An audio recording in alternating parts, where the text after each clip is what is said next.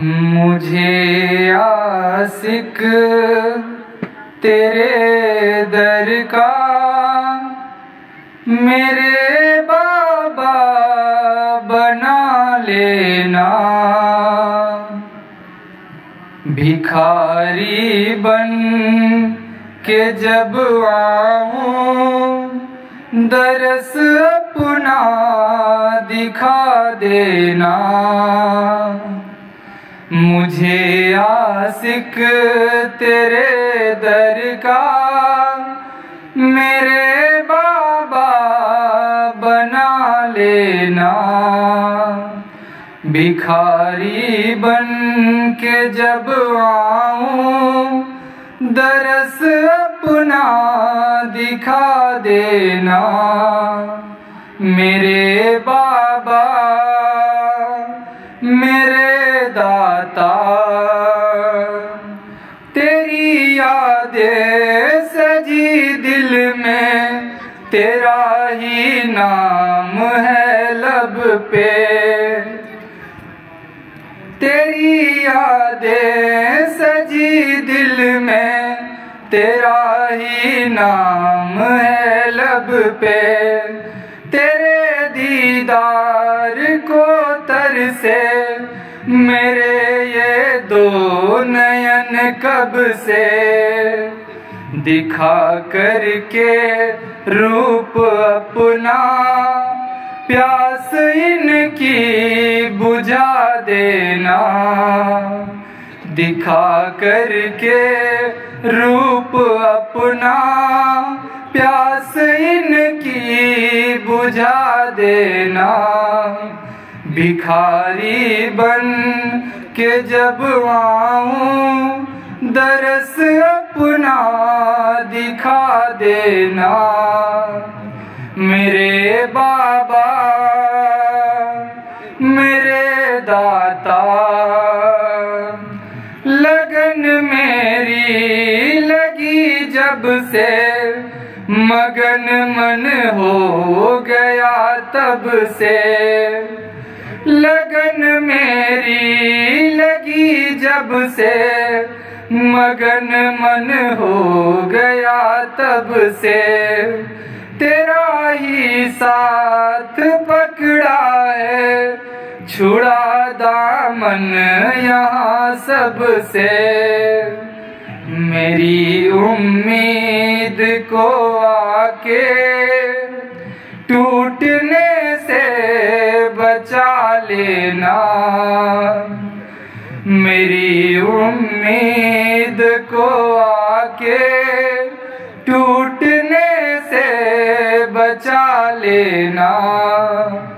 भिखारी बन के जब आऊँ, दरस अपना दिखा देना। मेरे बाबा, मेरे दाता, मेरी हर सांस तेरी आस करके आती जाती है। मेरी हर सांस तेरी आस करके आती जाती है। मेरे दिल में भरोसे की समा हर दम जगाती है। मिट न जाए मेरी ख्वाहिश, दिलासा तू दिला देना। मिट न जाए मेरी ख्वाहिश दिलासा तू दिला देना। भिखारी बन के जब आऊँ, दरस अपना दिखा देना। मेरे बाबा, मेरे दाता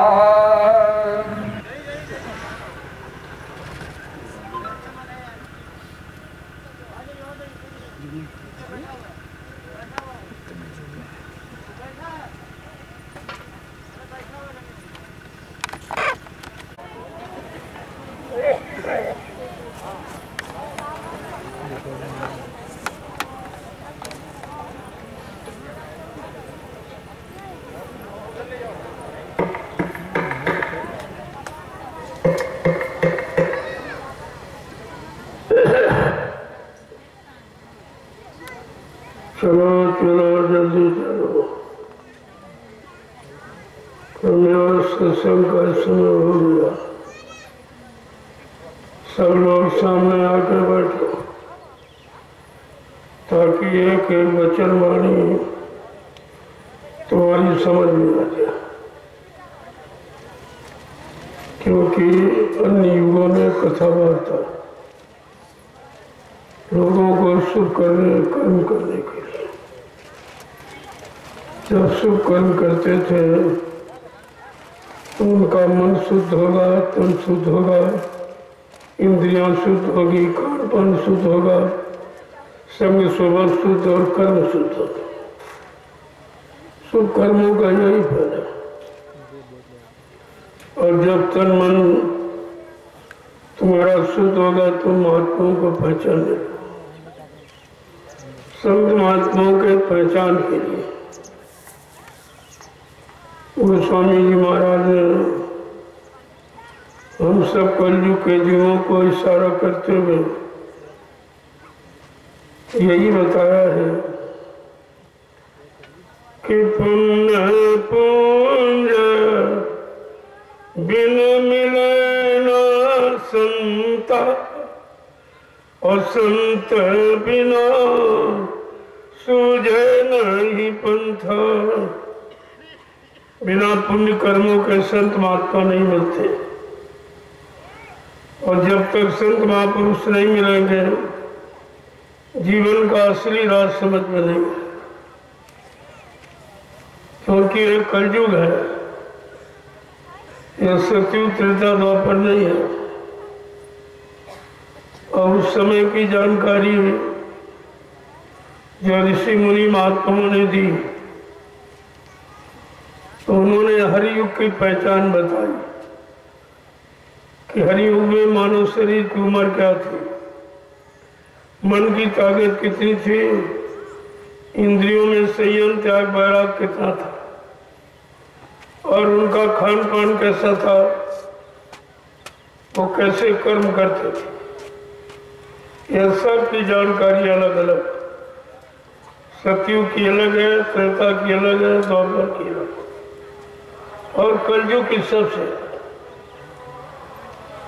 अब तुम सत्यु त्रेता द्वापर वाले कर्म करोगे, उससे कोई लाभ नहीं मिलेगा। तो कलयुग के जीवों की साधना नहीं उनका कर्म नहीं है। इसीलिए रात दिन तुम करते रहे लेकिन आपको मिलता कुछ नहीं। श्रीमद भागवत पुराण जो दो वेद व्यास ने लिखी थी। वो कलयुग के जीवों के इसी नैमिसारण की पावन पवित्र भूमि पर इन्होंने अट्ठासी हज़ार ऋषियों की मंत्रणा से वेद व्यास जी ने यह श्रीमद् भागवत पुराण की रचना की। आगे कलयुग आ रहा है। लोग धर्म कर्म को भूल जाएँगे। मानवता इंसानियत को भूल जाएँगे। प्रेम प्यार, मोहब्बत, सेवा दया, सदाचार, परमात्मा की यादगार को भूल जाएँगे। मानव के मन मस्तिष्क में माँ बहन बेटी, बहू की परख पहचान समाप्त हो जाए। ऐसा खराब युग आ रहा है। उस खराब युग में लोगों को क्या करना है? कैसे कर्म करने चाहिए? ये सब जानकारी वेद व्यास ने श्रीमद् भागवत पुराण में। की और कहा लोग किस तरह के कर्म करें तो उनको इस युग का लाभ मिलेगा। अब ये कलयुग है। कलयुग में तो सत्यु त्रेता द्वापर की साधना करने का कोई लाभ नहीं। क्योंकि तो कलयुग के जीवों के बस की बात नहीं है। न उतनी उम्र है, न मन की ताकत है, न इंद्रियों में संयम, त्याग वैराग है न कोई अच्छा खान पान है, न अच्छे कर्म है। लिहाजा उसका लाभ नहीं मिलेगा। इसलिए गोस्वामी महाराज ने कलयुग के जीवों के लिए श्री रामचित मानस में स्पष्ट कहा कि कलयुग जीव के जीव क्या करें तो उनको कलयुग का लाभ मिले। बड़े साफ़ शब्दों में कहा कि यही कलिका लेन साधन दूजा क्रम ने गुरु पद पूजा। इस कलयुग में मनसा बाचा कर्मणा। गुरु के वचनों का पालन। ये कलयुग का धर्म है। ये कलयुग का सच्चा कर्म है। तब उसको लाभ मिलेगा। अपनी मनमुक्ता में आकर कोई कुछ करने लगो तो उसका कोई लाभ नहीं। और भी कहा है कि कलयु गयो गायक नहीं दाना, और एक आधार नाम गुण गाना। का कलयुग में योग जब तक पूजा पाठ हमन नहीं है, क्यों नहीं है कि कलयुग का जीव गंदा मन गंदा तन गंदा इंद्रियाँ गंदी खान पान गंदा संग सोबत गंदी कर्म गंदे लिहाजा कलयुग का जीव कोई किसी दूसरे युग की साधना नहीं करता अरे हट से करेगा बगैर गुरु के आदेश में अगर नहीं करेगा तो उसका कोई परमार्थी लाभ नहीं जब गुरु आज्ञा दे आदेश दे तब आप करो तो उसका लाभ जैसे जनकपुरी में गुरु का दाद आदेश तो किसी ने लिया नहीं था। राजा के आदेश से सब लोग उठे बारी बारी से कि धनुष को तोड़े और सीता से दाव हो जाए। ये अपनी मनमुखता में आकर। लेकिन वो काम किसी से नहीं हुआ, वो धनुष किसी से नहीं टूटा, वो कार्य सफल ने किसी ने नहीं किया। लेकिन जब गुरु विश्वामित्र ने अपने चेले राम को आदेश दिया, जब गुरु के आदेश का पालन करके राम ने वो जो कार्य किया है, सफलता उनको मिली। थी ये प्रमाण है गुरु आदेश का। जब कोई आदेश देगा, उसके आदेश से जो काम करोगे तो तुम उससे मजदूरी ले सकते हो, फल प्राप्त कर सकते हो। अपनी इच्छा से कोई काम करने लगो, उसका परमार्थी लाभ आपको यही कारण है कि कलयुग का जीव सत्यु चेता द्वापर की साधना पूजा पाठ करता है, उसको लाभ क्यों नहीं मिलता? कि उस समय उसको कोई आदेश नहीं दे रहा इस समय आदेश देने वाला कोई क्योंकि तुम गुरु की पहचान नहीं कर सकते हो, संतों की पहचान तुम्हारे पास है नहीं। जब संतों के पास गए नहीं, संतों ने कोई आदेश दिया नहीं तो कलयुग का लाभ आपको नहीं मिलेगा बड़े साफ़ शब्दों में, क्योंकि तो संतों का आदेश तो कंजू में यही है कि कलयुग के वल नाम आधारा, और सुमेरी सुमेरी नर उतरे पारा। कंजू में केवल नाम धारा, वो भी कंजू का नाम। कलयुग का तो नाम आपको मिला नहीं, और आपने तलाश की नहीं। कोई सज्जू का नाम हरि नाम जप रहा, कोई त्रेता का सीताराम जप रहा, कोई द्वापर का राधे श्याम जप रहा। जब कलयुग का नाम ही नहीं मालूम तो कलयुग का लाभ आपको नहीं मिल यही कारण है, गोस्वामी जी महाराज ने इतने स्पष्ट शब्दों ने कहा, गुरु कोई खोज करो भाई, बिन गुरु राह कोई नहीं पाई ऐसे वक्त के समर्थ सदगुरु की खोज करो, तलाश करो। जब उनके पास जाओगे, वो तुम्हारी शक्ति, सामर्थ्य देखेंगे। मन की ताकत, इंद्रियों में संयम, त्याग, वैराग जब देखेंगे, तुम कौन सा कर्म करने के लायक हो, उस कर्म का जब आदेश देंगे, उनके आदेश हुक्म का पालन करोगे, तब आपको कलयुग में लाभ मिलेगा। इसलिए स्पष्ट शब्दों में कहा कलयुग के जीवों के लिए तुम जो शरीर इंद्रियों से पूजा पाठ, तीर्थ व्रत, दान होन जब तक गंगा स्नान, ये शुभ कर्म करोगे तो शरीर को लाभ मिलेगा। शरीर इंद्रियों से करोगे, शरीर इंद्रियों को लाभ मिलेगा। आत्मा से करोगे तो आत्मा को लाभ मिलेगा। लिहाजा आपने, किसी गुरु की तलाश की नहीं, बगैर आदेश के जो शुभ काम आप करने लगे तो मजदूरी आप किससे मांगोगे? कौन आपको मजदूरी देगा? इस पर आपने न विचार किया और न किसी ने विचार कराया, क्योंकि ये राज संतों के सिवा और कोई नहीं जानता है कि हर युग का लाभ कैसे मिलेगा। जब युग की, युग के नाम को जानोगे, सतयुग में योगियों ने हरि नाम जगाया। जब हरि नाम के अनुसार लोगों ने काम किया।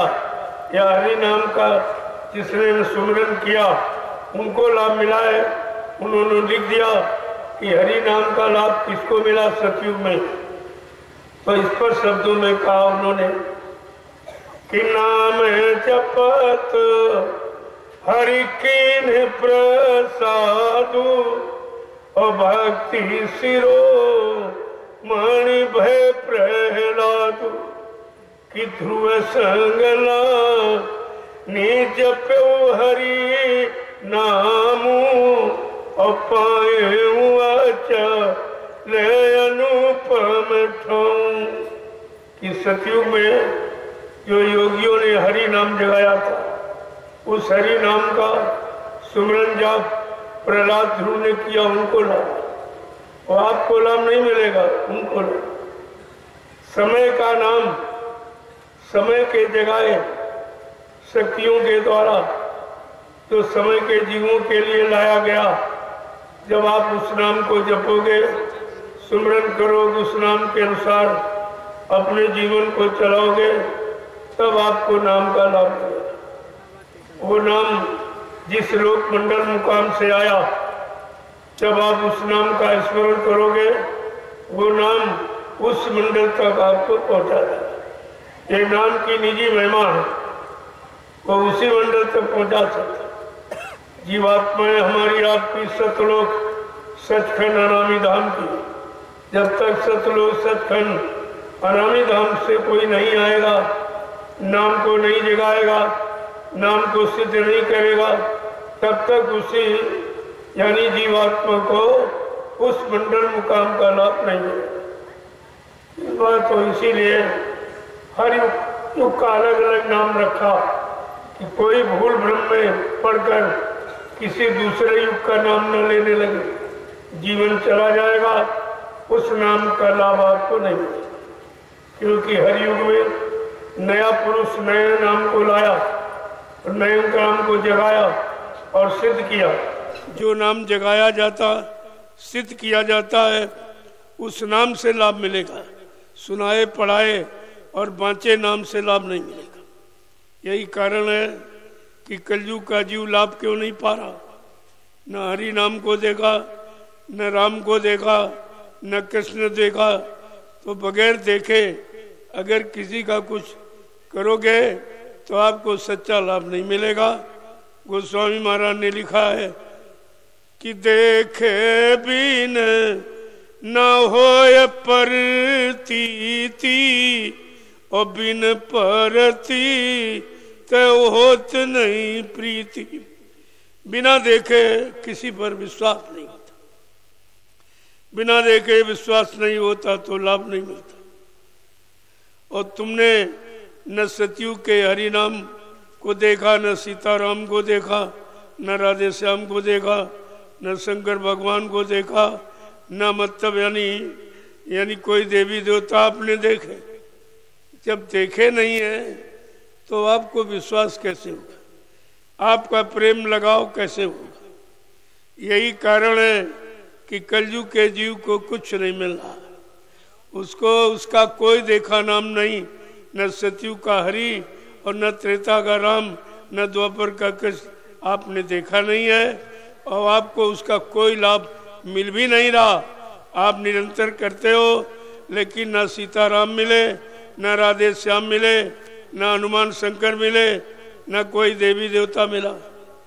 ये कारण है कि आपने समय के जानकार की तलाश नहीं की, समय के गुरु की तलाश नहीं की। गुरु समय के जानकार हैं, जो समय के नाम जगाए गए, वो गुनाहों की जानकारी केवल धरती मंडल पर अगर है तो गुरु को। इसीलिए गुरु को यहाँ सर्वोपरि माना गया। हर काम करने के पहले गुरु को याद किया गया। गुरु ब्रह्मा, गुरु विष्णु, गुरु देवे महेश्वरा, गुरु साक्षात पर ब्रह्म तस्मय श्री गुरुवे नमा। ब्रह्मा, विष्णु, महादेव गुरु ही है। गुरु के अलावा मृत लोक मंडल में कुछ है ही नहीं। जो गुरु आया, तब उसने जानकारी सबकी दी। और बगैर गुरु के जानकारी आपने कोई मिली नहीं, आप बगैर जानकारी के कोई काम करोगे तो सफलता नहीं मिलेगी। यही कारण कलयुग के जीव का कोई काम किसी युग के नाम के स्मरण से नहीं हुआ। और उस पर किसी ने सोचा विचारी भी नहीं। एक तो कोई जानकार है नहीं, अच्छी सच्ची जानकारी आपके पास है नहीं, और संत महापुरुष अच्छी सच्ची सच्ची जानकारी दे तो आप उसको सुनते नहीं हो। आप उसको मानते नहीं हो। आप उसको समझते नहीं हो। अपने जीवन में उतारते नहीं हो। तो लाभ मिले तो कैसे मिले? इसलिए सारे जीव कलयुग में लाभ से वंचित हैं। अब उनको लाभ मिलेगा क्योंकि कलयुग में संत पधारे हैं। अन्य युगों में संत नहीं आए थे। ऋषि मुनि आए, योगी योगेश्वर आए, अवतारी शक्तियाँ आई, ज्ञानी, ध्यानी, विज्ञानी आए, लेकिन संत नहीं आए संत तो इस कलयुग में आए। जब संत आए तो सारी जीवात्मा का अंत हो गया। उन्होंने अंत बताया कि जीवात्मा का देश कौन है और काल माया के देश में कैसे आ गई और किसने फंसा लिया। अब कौन निकालेगा? कौन ले जाएगा? कौन पहुंचाएगा? कौन मिलाएगा? ये सब जानकारी जब कलयुग के जीव को मिलेगी, तब उसको लाभ मिलेगा।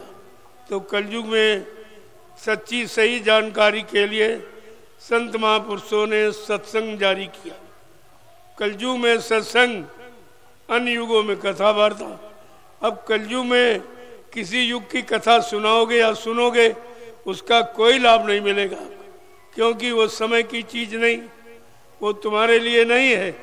वो सतयुग के जीवों के लिए अलग, त्रेता के जीवों के लिए अलग, और द्वापर के जीवों के लिए अलग, और कलयुग के जीवों के लिए सबसे अलग रखी, क्योंकि कलयुग के जीव की उम्र बहुत कम है। सतयुग में मानव शरीर की उम्र एक लाख वर्ष की, मन की ताकत हाथी के बराबर इंद्रियों में पूर्ण संयम त्याग वैराग उनका खान पान शुद्ध था उन, उनके कर्म शुद्ध थे तो उस समय की साधना अलग रखी। युग के अनुसार मानव के शरीर की उम्र के अनुसार मानव के मन की ताकत के अनुसार इंद्रियों में संयम त्याग वैराग के अनुसार अच्छी संग सोबत अच्छे कर्मों के अनुसार उसका विधान अलग रखा था एक नहीं है फिर धीरे धीरे जब सब जीव भोगों में फंसते चले गए, शरीर की उम्र कम हो गई, मन की ताकत भी कम हो गई, इंद्रियों का संयम त्याग, वैराग्य कम हो गया और मतलब तब उसका आधार अलग रखा।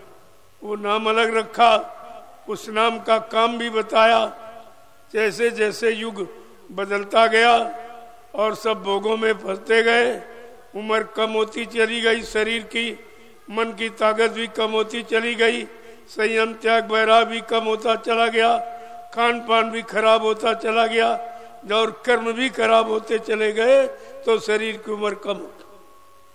सतयुग में एक लाख वर्ष की थी, त्रेता में दस हज़ार वर्ष की, द्वापर में एक हज़ार वर्ष की और कलयुग में मानव शरीर की उम्र सौ वर्ष की सबसे कम अब जब कम उम्र है, कम ताकत है, खान पान गंदा है तो फिर उन अच्छे युगों की साधना करने से आपको कोई लाभ नहीं मिलेगा। वो लाभ तुम्हारे बस का नहीं है। करने से लाभ नहीं है। जब मनसा बाचा कर्मणा, शुद्ध पाक साफ़ निर्मल, पवित्र रहोगे, तब आपको लाभ मिलेगा। कलयुग का जीव तो गंदा है तो उसको उस युग का लाभ कैसे मिलेगा? नाम लेने से काम नहीं बनेगा। नाम के अनुसार अपनी करनी बनाओगे। अपने कर्म, कर्तव्य ठीक करोगे। अपना खान पान शुद्ध रखोगे। तब कहीं उसको उस समय का लाभ मिलेगा। इसलिए कलयुग में, कलयुग के जीवों को लाभ देने के लिए संत गोस्वामी जी महाराज कलयुग में आए और उन्होंने रामचित मानस की रचना की। उन्होंने तो पहले घट रामायण लिखी थी। ये रामचित मानस तो बाद में लिखा। पहले घट रामायण लिखी, यानी सब कुछ घट में बताया अंदर में, और वस्तुता है भी अंदर में, तुम्हारा मन भी अंदर में, जीवात्मा भी अंदर में, और जितनी, यानी मन, बुद्धि, चित्त, ये सब अंदर में, बाहर कुछ नहीं। बाहर तो कर्म करो, जब अंदर की प्रेरणा सही मिलेगी अंदर की प्रेरणा देने वाले जब संत महापुरुष मिलेंगे, वो आपको आंतरिक प्रेरणा कैसे तुम्हारे अंदर आएगी, उनकी दया और शक्ति बल के द्वारा। ऐसे जीव नहीं कुछ कर सकता। बगैर सदगुरु की दया के जीव यहाँ कलयुग में कोई सफलता प्राप्त नहीं कर सकता, कोई आंतरिक लाभ नहीं दे सकता, कोई आध्यात्मिक लाभ नहीं मिलेगा, जीवात्मा संबंधी लाभ नहीं मिलेगा। जब सदगुरु मिलेंगे, तब उनको अंदर का लाभ मिलेगा। कलयुग में ये गाना बजाना नहीं है। कलयुग में मनोरंजन से नहीं परमात्मा मिलेगा। न गाने बजाने से मिलेगा, न पढ़ने पढ़ाने से मिलेगा, न सुनने सुनाने से मिलेगा। कलयुग में परमात्मा मिलेगा करनी के द्वारा। कलयुग में कौन सी कर्मी करोगे?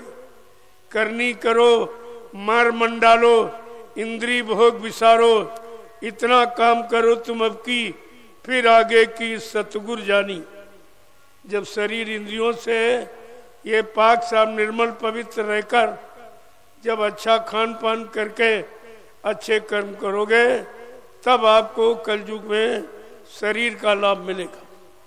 क्योंकि कलयुग में मानव शरीर की उम्र सौ वर्ष की। वो भी जब अच्छा खान पान अच्छे कर्म करोगे तब। बुरे खान पान बुरी संग सोबत, बुरे कर्मों में चले गए तो कोई लाभ नहीं मिलेगा उसका लेस मात्र भी लाभ आपको नहीं मिलेगा।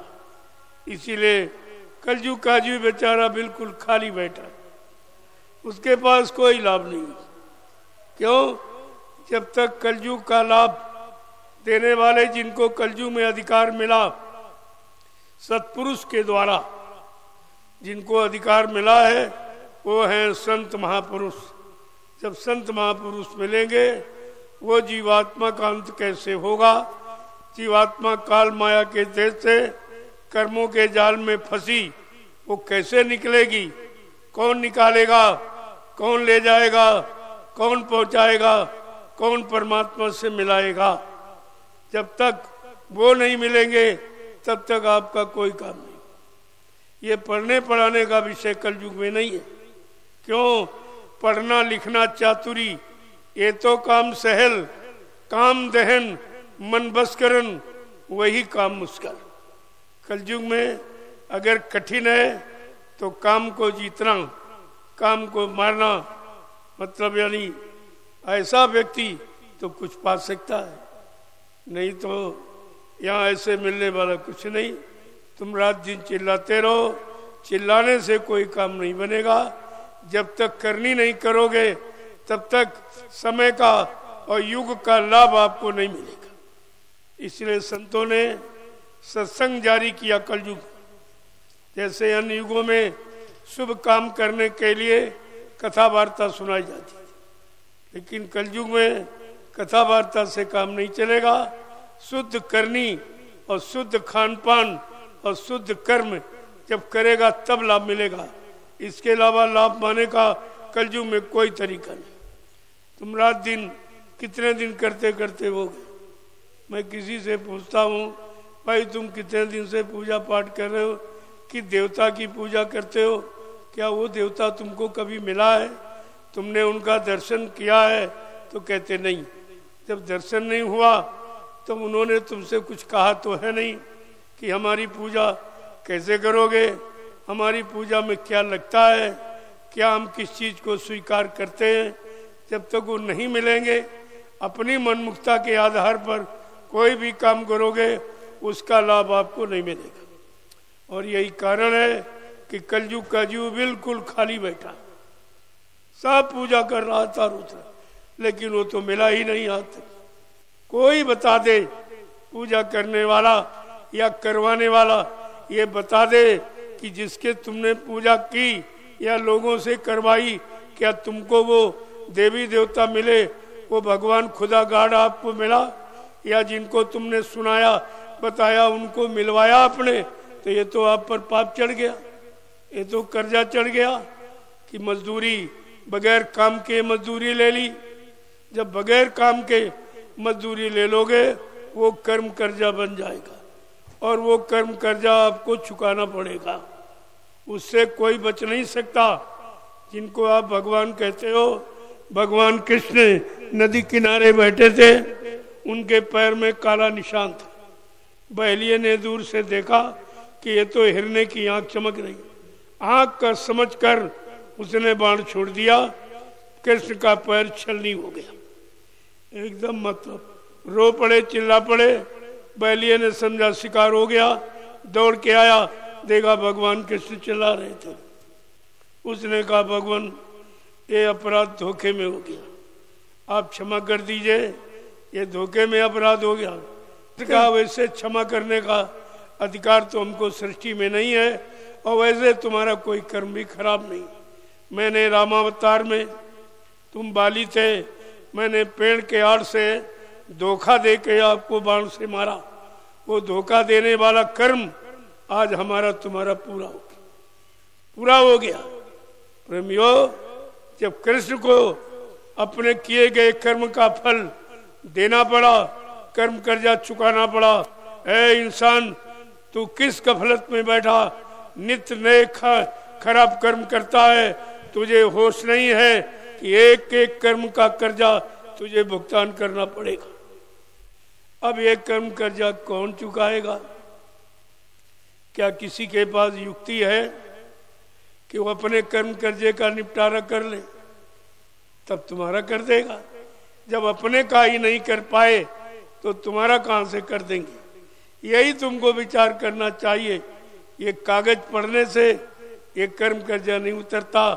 कागज़ पढ़ने से परमात्मा नहीं मिलता है और ये कागज़ परमात्मा मिला भी नहीं सकते। किताबें परमात्मा से नहीं मिलाएँगी। परमात्मा से मिलाने वाला समय का कोई संत महात्मा मिले, उनके पास जाओ, उनके चरणों में खिदमत करो, विनती करो, प्रार्थना करो, अपने गुनाहों की माफ़ी मांगो। जब उनकी दया हो जाए, तुम्हारे गुनाह माफ़ हो जाए। जब तुम्हारी जीवात्मा को पाक साफ़ निर्मल पवित्र कर देंगे, तब वो नाम का आधार देंगे। क्योंकि जीवात्मा का आधार नाम है। इसी को अन्य युगों में मंत्र गुरु मंत्र दीक्षा, ये कहते थे, लेकिन आज कल युग में सीधा है नाम दान। नाम का दान देंगे, दान लेंगे नहीं देंगे कलयुग में दान लेने का विधान नहीं है, दान देने का विधान। अगर देते हो तो आपका शुभ कर्म बन रहा है, और जो लेता है, उसका पाप कर्म बन रहा है। तो ये भी नहीं, लेने वालों ने यही नहीं सोचा कि हम ले रहे हैं, इसका उद्धार कैसे करेंगे। जिनका ले लोगे, देना पड़ेगा, खा लोगे, खिलाना पड़ेगा। अगर नहीं दिया, नहीं खिलाया पिलाया, कर्मों की अदायगी नहीं की तो पता नहीं कितने जन्म अभी आपको लेने पड़ेंगे। बैल, घोड़ा, खच्चर, गधा बन के ये कर्म कर्जा चुकाना पड़ेगा। इसलिए कलयुग में संत महापुरुषों ने जीवों के लिए जो आधार रखा है, वो केवल ये, देने को अन्नदान, लेने को सत्यनाम तरने को दीनता, डूबने को अभिमान, ये चार सूत्री कार्यक्रम कलयुग में। इसके अलावा कलयुग में जो भी करोगे उसका प्रत्यक्ष कोई लाभ नहीं मिलेगा। और आपको मिल भी नहीं रहा और फिर भी आप कर रहे हैं। अरे, पूछना चाहिए, इतने दिन हमने पूजा की, वो देवी देवता मिले ही नहीं। उनका दर्शन हुआ ही नहीं। उन्होंने कोई आशीर्वाद, कोई वरदान हमको दिया नहीं। तो तुम्हें तो ये तलाश करनी चाहिए, जानकारी करनी चाहिए। जैसे कोई रास्ता भूल जाते हो तो कितने लोगों से पूछते हो? लेकिन ये जो भूल भटक आपने पूजा की की, किसी संत महापुरुष से पूछा, उनके करीब आप गए और उनसे आपने आरज़ू मिन्नत, विनय प्रार्थना करके कभी पूछा है कि कलयुग में हम सब जीवों को क्या करना चाहिए ताकि हमको लाभ मिले? समय का लाभ मिले, समय का हमारा सबका काम हो जाए, समय से हमारी जीवात्मा जगे, परमात्मा से मिल जाए। ये तो आपने किसी से पूछा नहीं। और ना तुम्हें मालूम है, और न तुम जानकारी करने की इच्छा करते हो।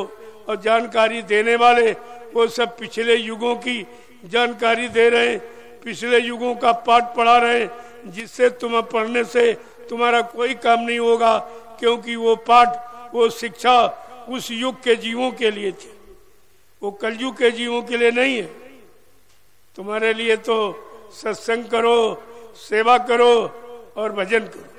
कलयुग के, के जीव के लिए ये तीन सूत्री कार्यक्रम निश्चित है कि जब सत्संग सुनोगे तो सत्य की जानकारी होगी कि सत्य क्या है असत्य क्या है झूठ क्या है चल कपट क्या है।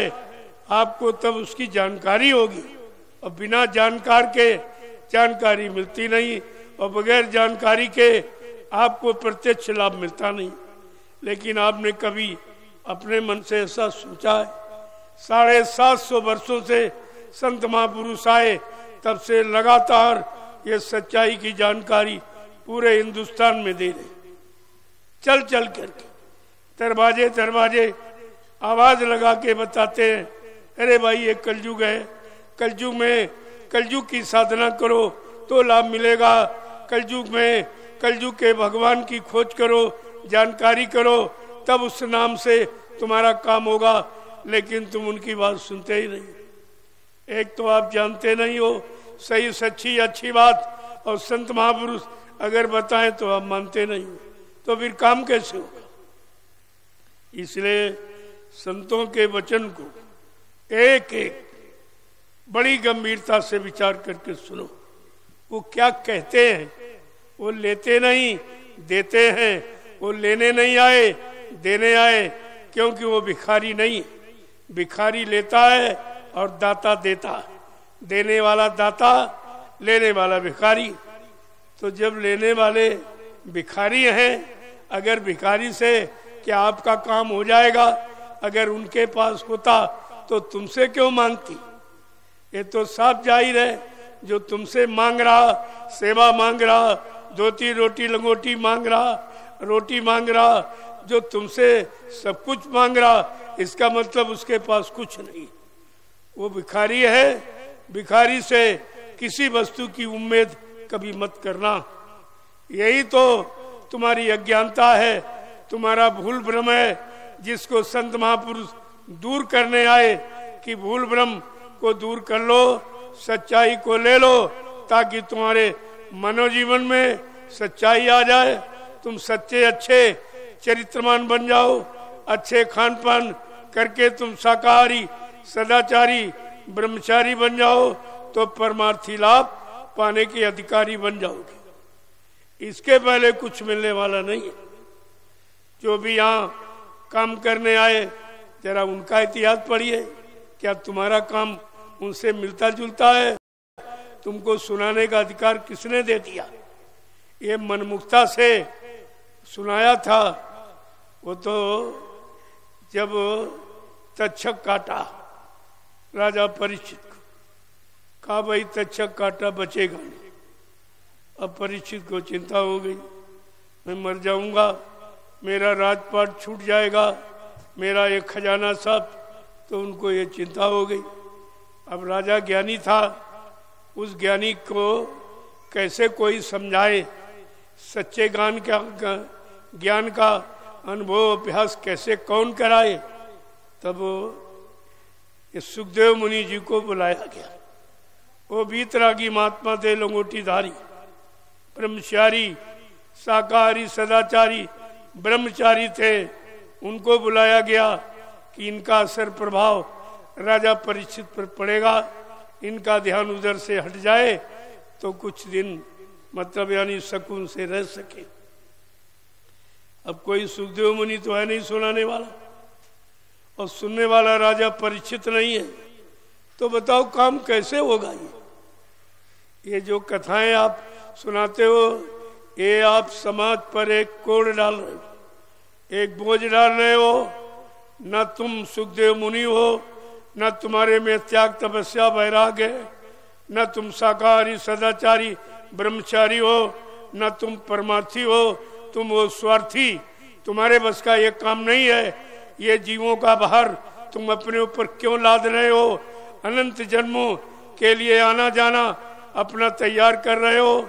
तो आने जाने से छुटकारा लेने लिए कि आए हो? कि आना जाने का बोझा अपने पर लादने के लिए आए? जरा सोचो, समझो, विचारो। ये काम सुखदेव मुनि का था। अब राजा परिचित, किसी को तक्षक काटा नहीं है। तो तुम सुना किसको रहे ये दवा राजा परिचित के लिए थी, यानी तक्षक काटा।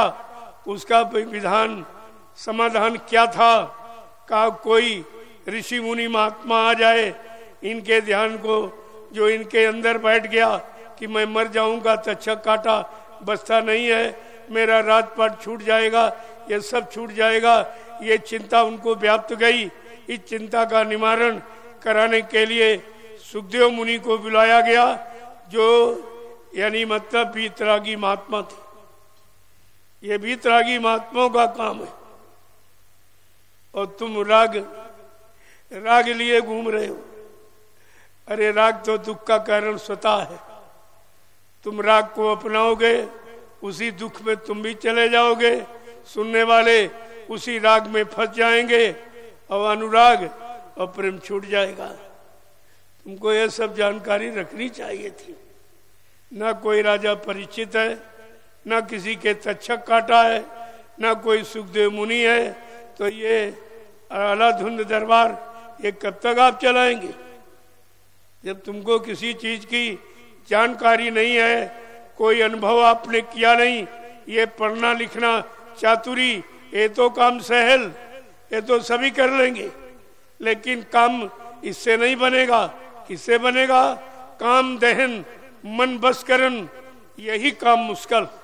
जब तक ये काम नहीं करोगे, आपको कोई लाभ नहीं मिलेगा। संत महापुरुषों ने सच्चाई को समय से खोला और सबके कान तक आवाज़ पहुँचा दी कि तुम्हारा कलजू में सत्य कर्म क्या है, सत्य धर्म क्या है, सत्य नीति क्या है, सच्ची साधना, सच्ची पूजा पाठ क्या है? अबे शारीरिक इंद्रियों की पूजा पाठ ये कलयुग में नहीं है।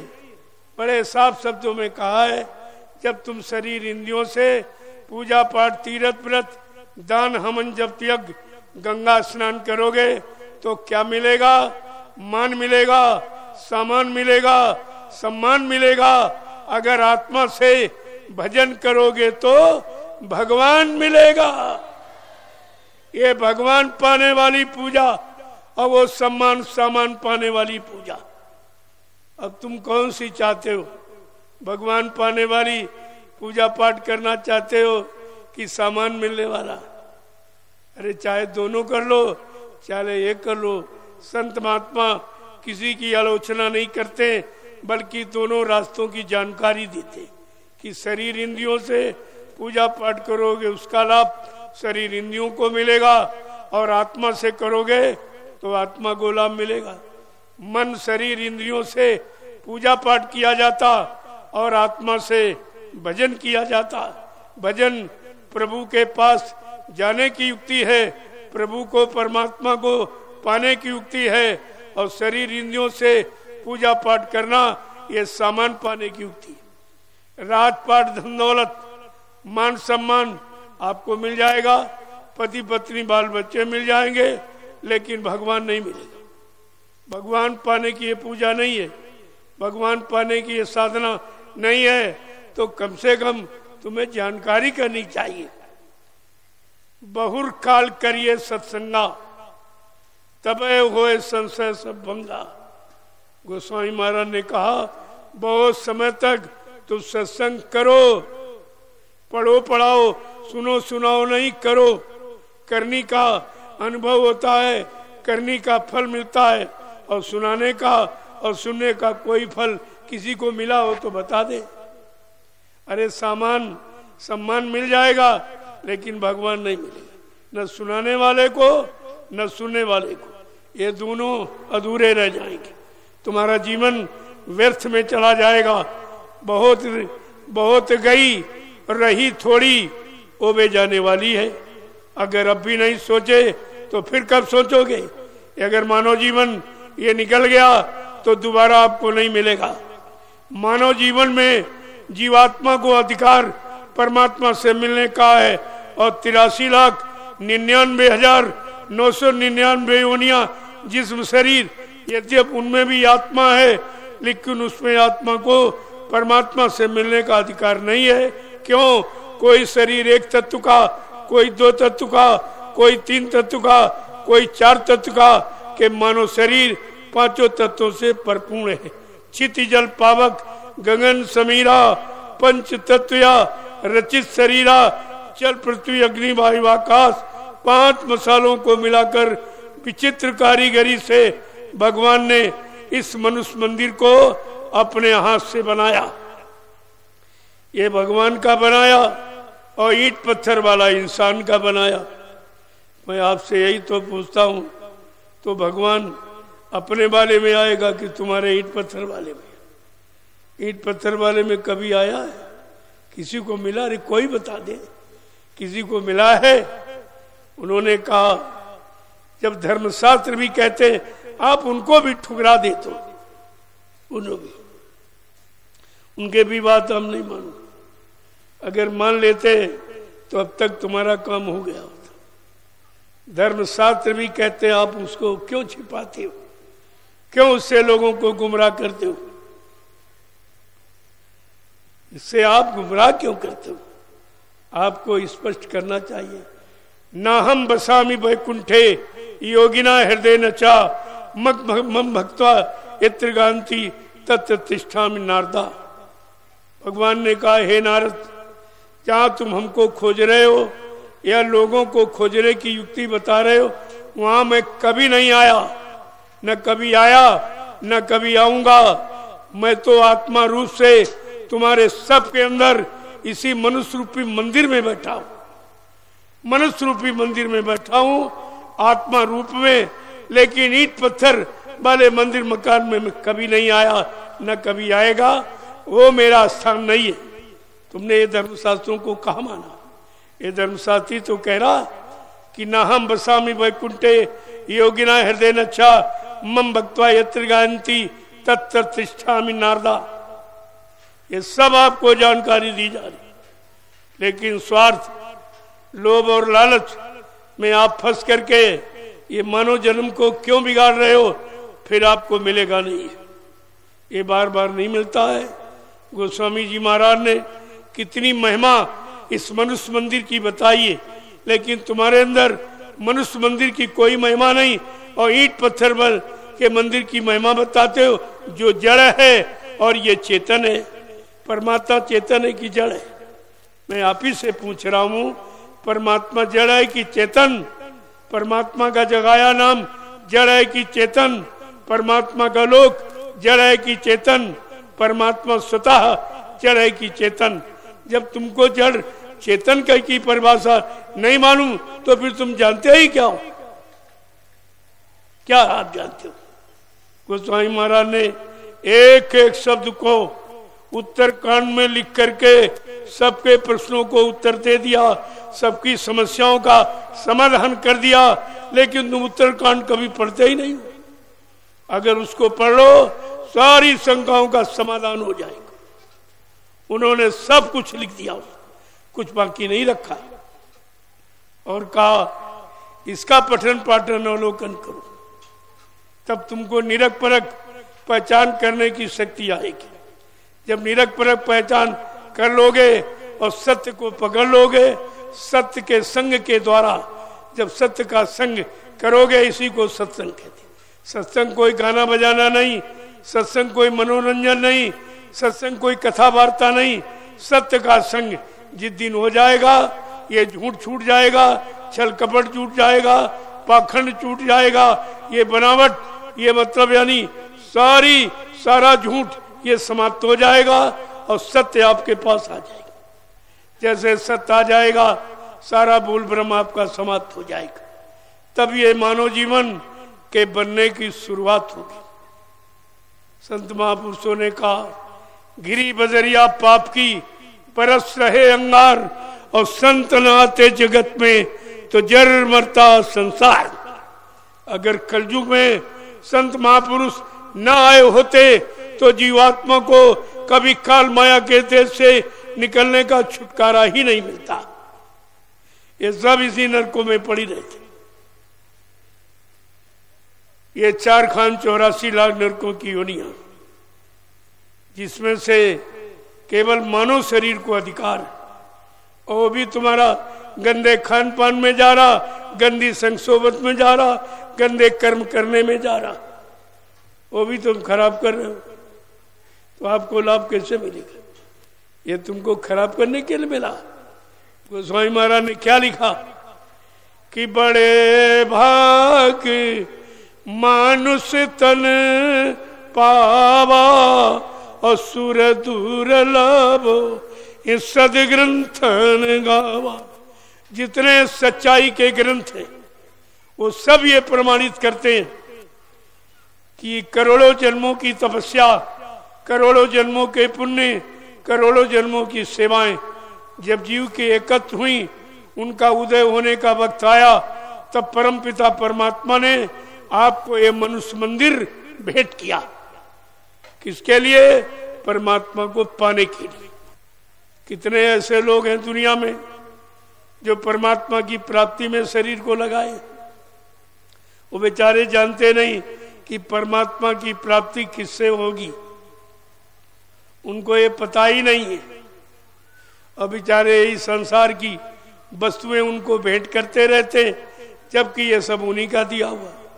उन्हीं का दिया हुआ, उन्हीं को भेंट करते हो इसमें तुम क्या देते हो? तुम्हारी कौन सी कमाई है? कहा, तुम्हारे पास अगर नाम की सच्ची कमाई है तो तो आप भेंट कर सकते हो। वो भी जिस युग का नाम लेते हो, उस युग में उस नाम से लाभ मिलेगा, दूसरे युग में नहीं। अगर एक ही नाम परमात्मा का होता तो फिर ये अलग अलग क्यों आया? इस पर भी आपने विचार नहीं किया कि जब सतयुग था तब हरि नाम था। लेकिन जब त्रेता आया, नाम बदल गया, राम नाम आ गया। और जब द्वापर आया तो राम नाम भी कदम, कृष्ण नाम आ गया। ये अलग अलग नाम क्यों आए? ये सब प्रमाणित करते हैं। हर युग में नया पुरुष नए नाम को लेके आया और उस युग के जीवों को नाम का जपना सिखाया। जो लोग समय से, समय के नाम को लिया, उनका काम हो गया। और आपको ये भी नहीं पता, तुम्हारे समय कलयुग का क्या नाम है? अरे भाई अपने अपने युग का नाम लो अपने अपने युग का लाभ उठाओ। तो कलयुग का तो आपने पूछा नहीं किसी से, और आज तक आपको किसी ने बताया नहीं होगा कि कलयुग में भगवान का क्या नाम किसी ने बताया आपको? तो जब बताया नहीं, किसी को जानकारी है नहीं तो पिछले युग के नाम को दोहरा रहे बेचारे। और गुजरा हुआ जमाना आता नहीं दोबारा। जो समय वक्त निकल जाता है, वो नहीं आता। जो नाम समय का आया, काम करके चला गया, तुम्हारे बुलाने से वो नाम नहीं आएगा। वो नाम का महापुरुष, महाशक्ति, वो अवतार तुम्हारे पास नहीं आएगा। वो तो समय से आए और समय से जिन लोगों ने उनकी बात मानी, उनका काम होया और जिन्होंने विरोध किया, वो मारे गए। यही तो इतिहास आपका है। जब हेणा कश्यप समय के हरि नाम को नहीं माना तो मारा गया। रावण जैसा विद्वान कोई नहीं था, लेकिन समय के जगाए ऋषि मुनियों ने जो राम नाम जगाया, उसको नहीं माना, उसी विरोध किया और शंका की तो मारा गया। द्वापर में जब गुरु ने कृष्ण नाम जगाया, लोगों ने नहीं माना। भगवान कृष्ण ने स्वयं समझाया, अपने मामा कंस को और अपने यदवंशियों को कोई नहीं मानने को तैयार हुआ तो अंत गत्वा उनको महाभारत करके ये दंड देना पड़ा। न मानने वाले दंड के अधिकारी होते, लाभ के अधिकारी नहीं होते। और आप भी कलयुग का नाम जानते ही नहीं और किसी विद्वान ने आपको बताया नहीं होगा आज तक कि कलयुग का नाम क्या है। तो कलयुग को जीवों को लाभ मिले तो कैसे मिले?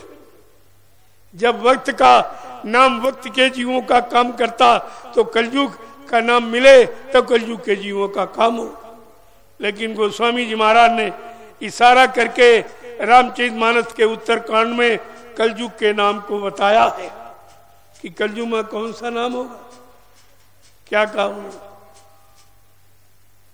बड़े बड़े शब्दों में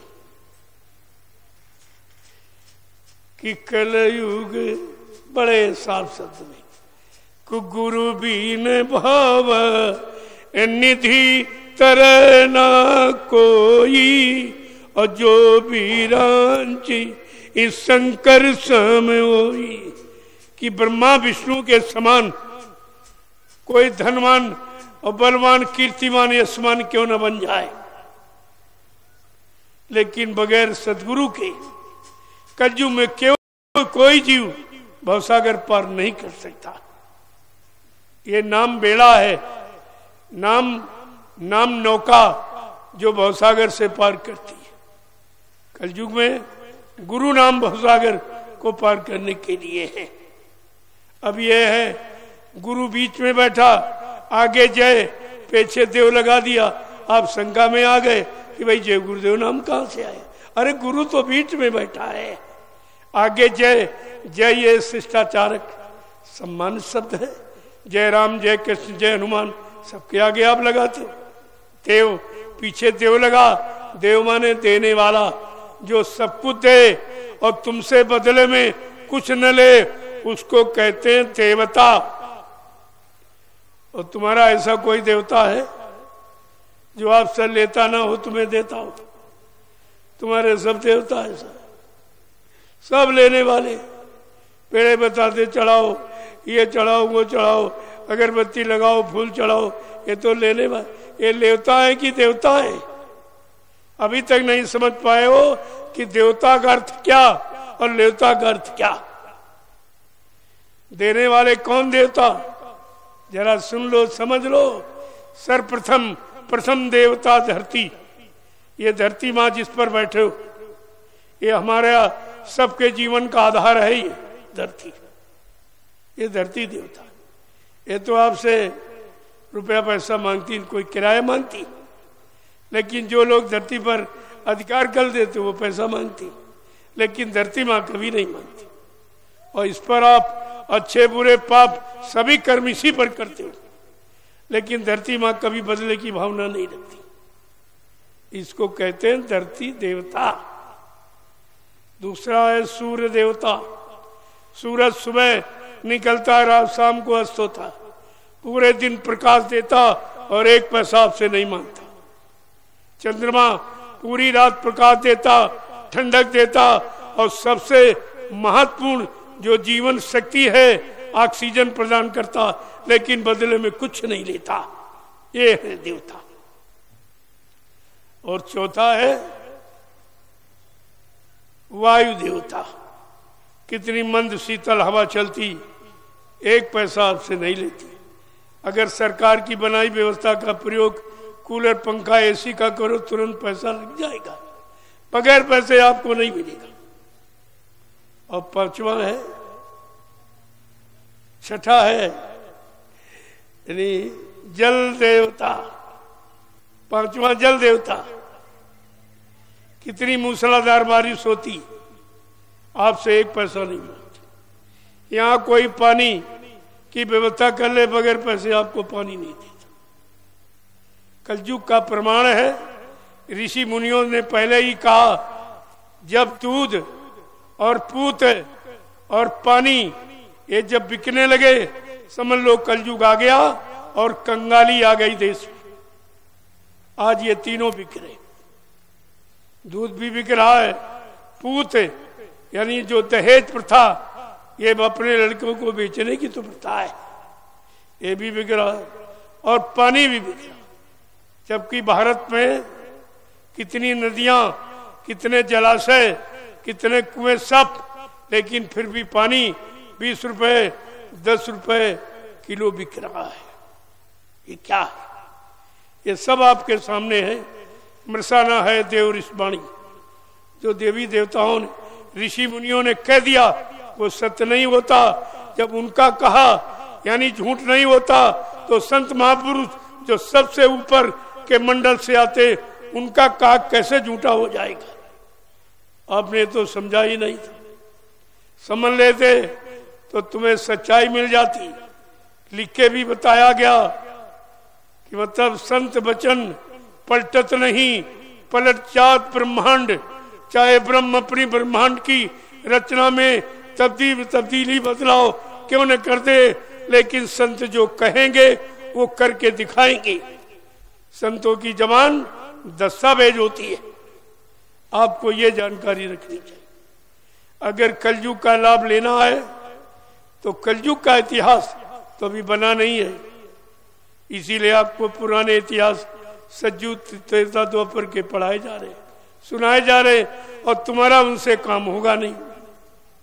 क्योंकि गुजरा हुआ जमाना आता नहीं दोबारा।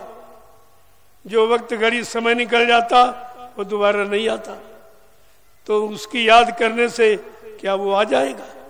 वो नाम लेने से क्या वो नामधारी प्रकट हो जाएँगे? वो तो अपने समय से आए और काम करके चले गए। अब उनका केवल इतिहास मौजूद है आपके साथ। इतिहास पढ़ने से वो नहीं आएँगे। इतिहास दोहराने से तुम्हारा काम नहीं होगा। उस समय का नाम लेने से तुम्हारा काम नहीं होगा। गोस्वामी जी महाराज ने सारे शंकाओं का समाधान करने के लिए उनको रामचित मानस लिखनी पड़ी। उन्होंने तो घट रामायण लिखी थी। रामचित मानस उनको लिखनी पड़ी।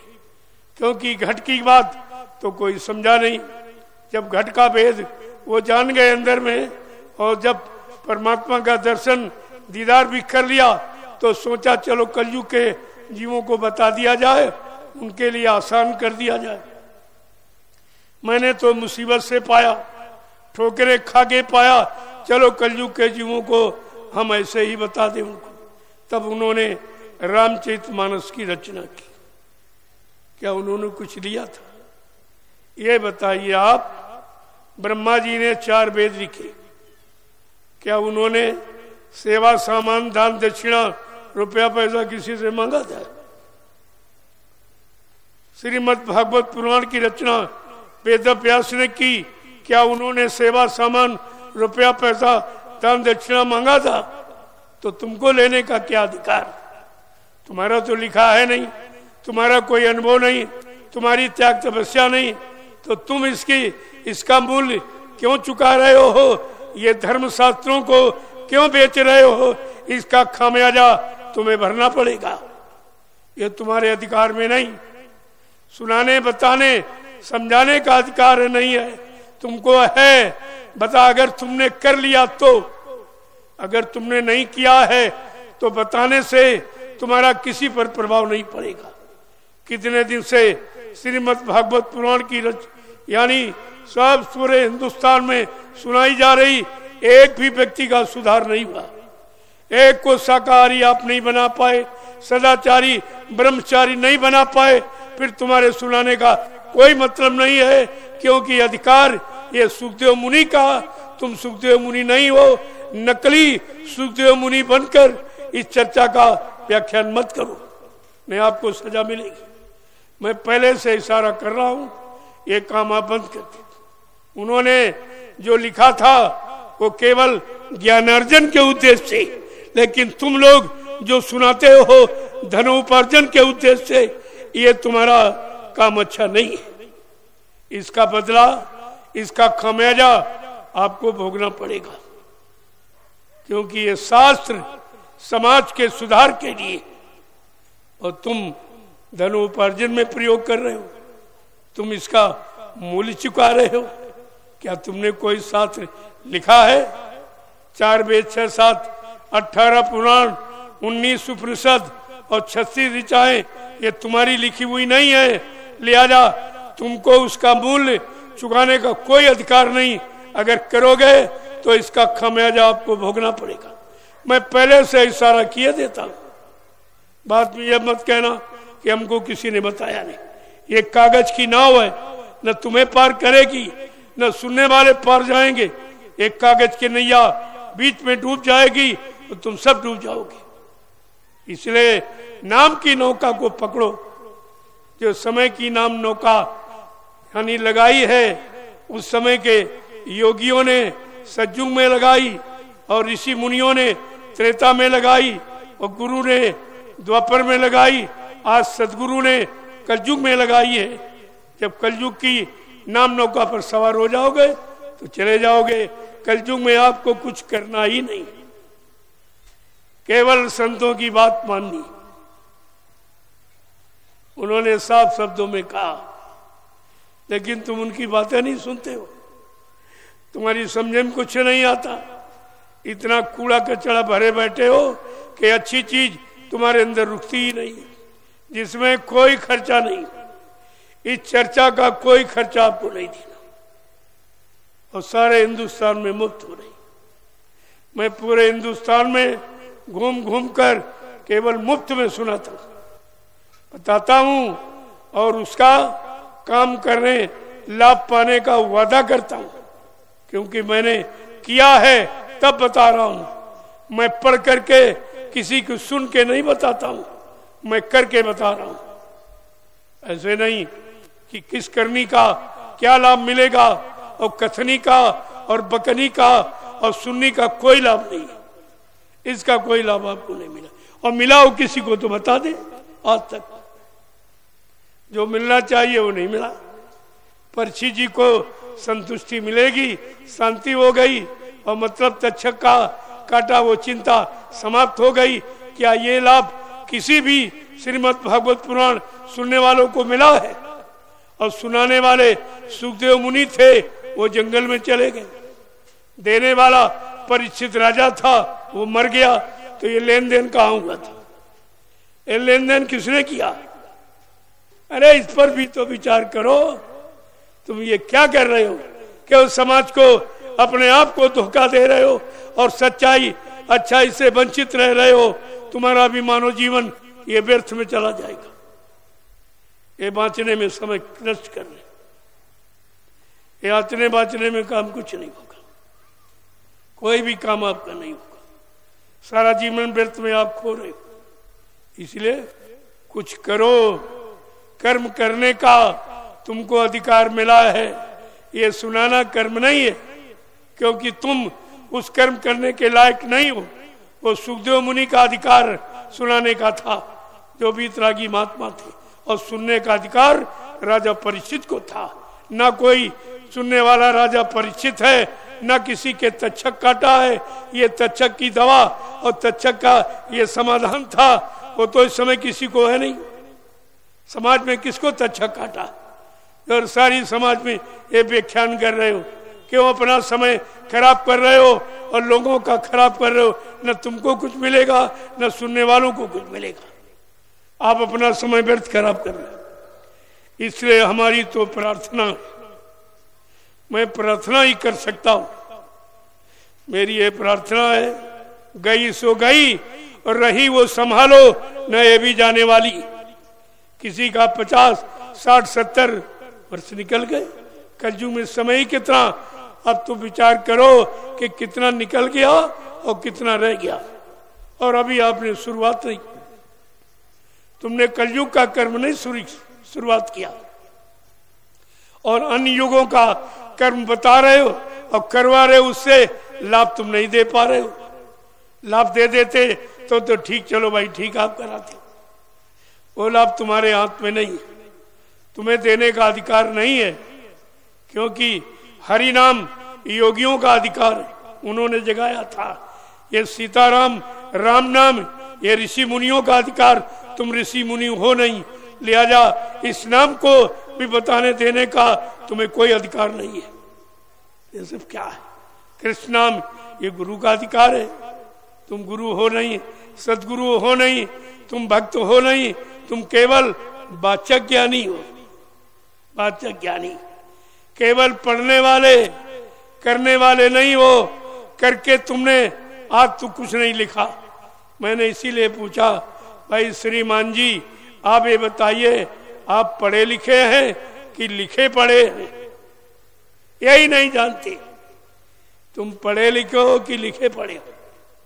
जो लिखा है, ऋषि मुनि ने, वो तुमने पढ़ के रट लिया, वो सुना रहे हो, तुमने कोई सुनकर लिखा कोई अपना अनुभव समाज को दिया है, समाज को लाभ पाने वाला कोई अनुभव तुम्हारा है? ये तो व्यर्थ के काम हो गए आप। आपको क्या मिला तो मैं तो प्रार्थना करता हूँ। सारे देश में जा जाके प्रार्थना किया। लोगों को बताया है। अब भी जागो। यतन कुछ कर लो। चौरासी का फेर बचा लो। ये मानव जीवन ये व्यर्थ में जा रहा व्यर्था गमा रहे श्वासों की पूंजी। ये दोबारा आपको मिलेगा नहीं। साफ़ शब्दों में कहा कि शरीर का मतलब क्या है? ये शरीर परमात्मा ने क्यों दिया आपको? क्या कभी आपने विचार किया यही तन का फल विषय न भाई, और स्वर्ग स्वल्प अंत दुखदाई इस शरीर का फल विषय भोग नहीं है। और तुम इसी में गवा रहे हो, विषय भोगों में तुम पहले ही बात, पहली शिक्षा नहीं मान रहे हो।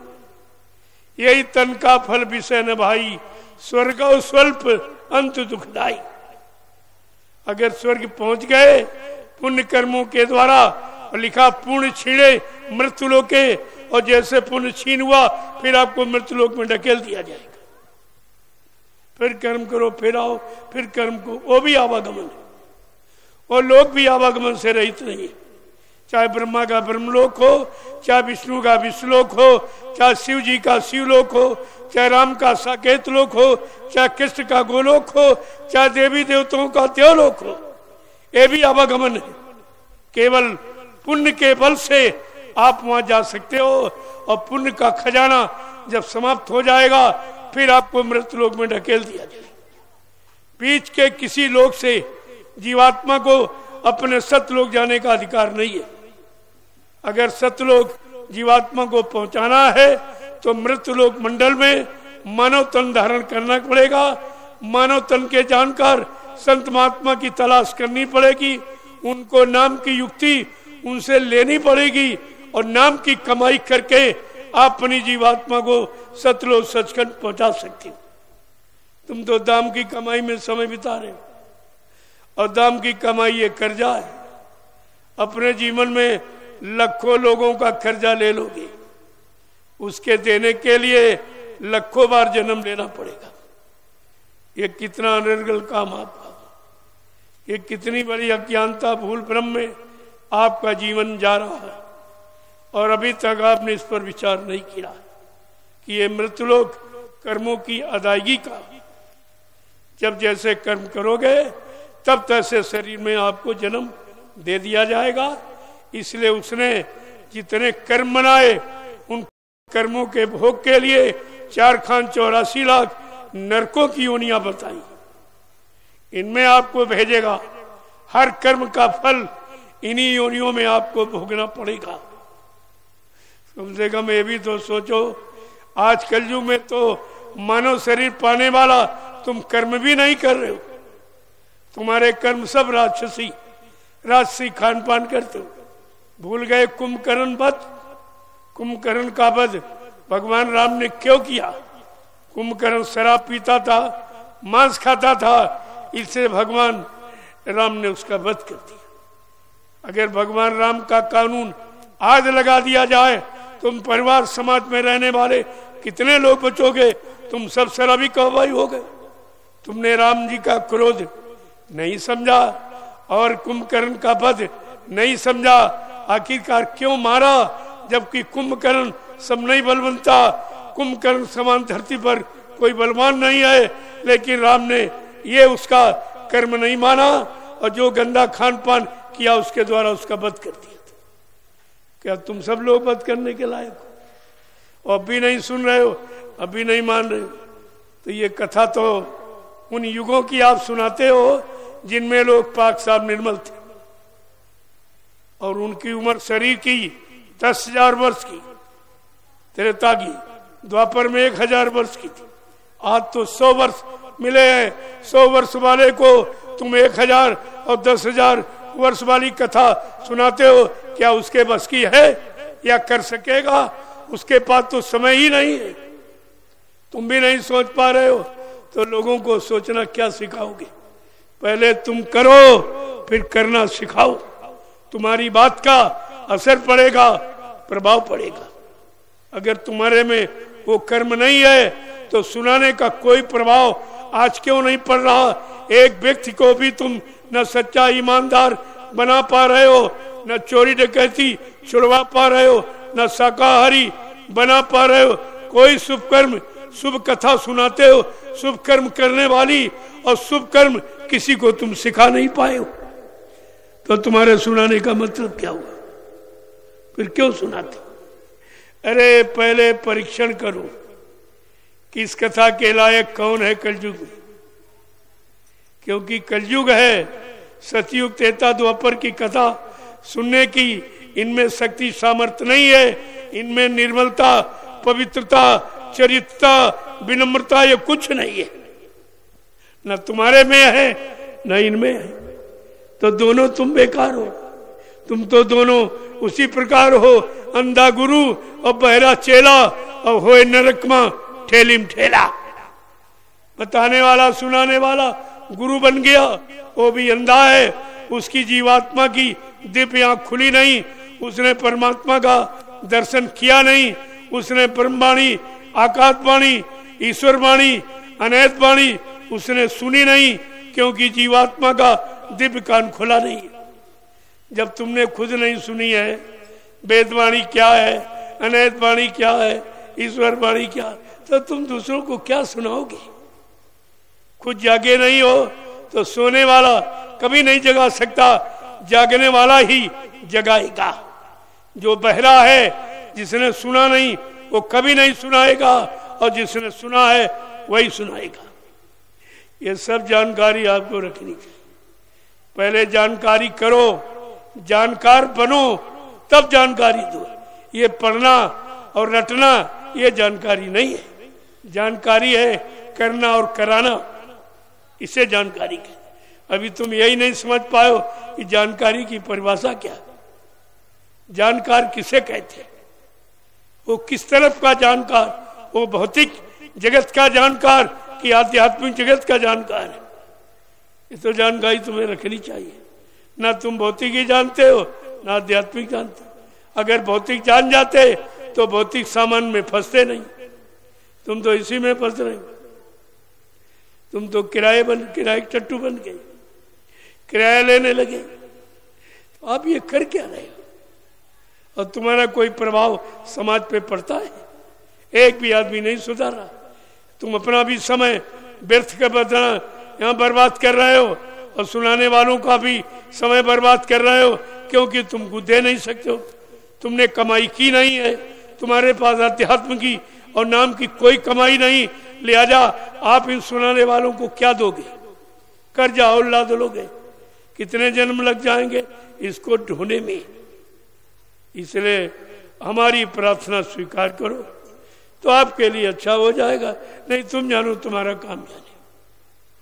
मैं तो सही, सच्ची, अच्छी बात सुनाने के लिए आया हूँ और सुना रहा हूँ, सारे हिंदुस्तान को बता रहा हूँ कि भाई ये करो, पहले आप शाकाहारी बन जाओ। क्यों? हमारे भारत देश का ये नियम है। जरा जैसा करो आहार, वैसे बने विचार। आहार से विचारों का जन्म होता, ये कथा सुनाने से विचारों का जन्म आप नहीं दे सकते, नहीं कर सकते। वो तो आहार के द्वारा। पहले इनको शाकाहारी बनाओ, सुनने के लायक बनाओ, समझने के लायक बनाओ, करने के लायक बनाओ। जब ये शाकाहारी हो जाएँगे तब सदाचारी हो जाएँगे। जब सदाचारी बन जाएँगे तो ब्रह्मचारी बन जाएँगे। तो ब्रह्म तक जाने की इनमें शक्ति हो जाएगी। ये तो आप बताते नहीं हो। जो बताना चाहिए, क्योंकि तुम खुद नहीं जानते हो। खुद शाकाहारी, सदाचारी, ब्रह्मचारी नहीं हो तो ये शिक्षा तुम दूसरों को कैसे दे सकते तुमने खुद इसका लाभ प्राप्त नहीं किया है, दूसरों को लाभ आप कैसे दे सको इसलिए हमारी इस वाणी को आलोचना मत समझिए। ये सच्ची सीख है। अब ये है, सत्य कड़ुआ होता है। सत्य कड़ुआ होता है। किनको? स्वार्थी लोभी लालचियों को। तो सत्य कड़ुआ होता लेकिन अच्छे सच्चे, ईमानदार चरण भक्तों को सत्य मीठा होता उनको मीठा लगता वही लेते हैं। आग बगैर भक्त हो तो तुमको पहले भक्ति की परिभाषा सुनी चाहिए। कि भक्ति की परिभाषा क्या? जिसने भाव विचारों की सारी शक्ति किसी को अर्पण कर दी, वो उसका भक्त कहलाता। और उसके नियम कानून को मानना अक्षरसा उसके अनुसार जीवन को निकालना, ये उसकी भक्ति होती बिना भक्ति के कोई शक्ति नहीं और बिना शक्ति के कोई मुक्ति नहीं है। अगर मुक्ति पाना चाहते हो तो पहले भक्ति करो। और भक्ति बिन देखे कि नहीं, बिन देखे कि कोई भक्ति नहीं होती। भक्ति देख के की जाती तब तो भक्ति का लाभ आपको मिलेगा। और ये अंधी भक्ति जो कर रहे हो, ना वो दिखाए जिसकी भक्ति कर रहे हो, वो मिला नहीं, वो दिखने को मिला नहीं तो आप उससे क्या लाभ करो, क्या प्रार्थना करोगे कौन सी तुम्हारी प्रार्थना वो सुनेगा जब तुमको सामने आया ही नहीं? तुम्हारे सामने कभी नहीं आया। बुलाने पर भी नहीं आया। फिर भी विचार नहीं करते हो कि क्यों नहीं आया। या किसी को बुलाओ और दो तीन बार अगर ना बोले तो आपको शंका हो जाती कि हमसे नाराज़ है, क्यों नहीं बोल रहा? फिर उसकी नाराज़गी का पता लगाते हो। लेकिन परमात्मा खुदा, देवी देवता, आप ब्रह्मा, विष्णु, महादेव, हनुमान, शंकर कोई नहीं आपको मिले तो तुम्हें संत महात्माओं से जानकारी लेनी चाहिए कि मैं रोज प्रार्थना करता हूँ, रोज पूजा करता हूँ, रोज सामान उनके नाम का खर्च करता हूँ, लेकिन आज तक वो कभी नहीं आए। जरा हमारा इसका कारण बता दो कि हमसे नाराज़ क्यों? तो संत महात्मा बताएँगे आपको। नाराज़गी का कारण क्या? उनके पास तुम जाते नहीं हो। उनसे तुम विरोध करते हो। उनको पहचानते नहीं हो। तो ये तुम्हारा जीवन व्यर्थ में चला जाएगा। फिर दोबारा आपको मिलेगा नहीं ये। तो वो तो आपको बताने आए और बताकर कुछ लेने नहीं आए। वो देने के लिए आते।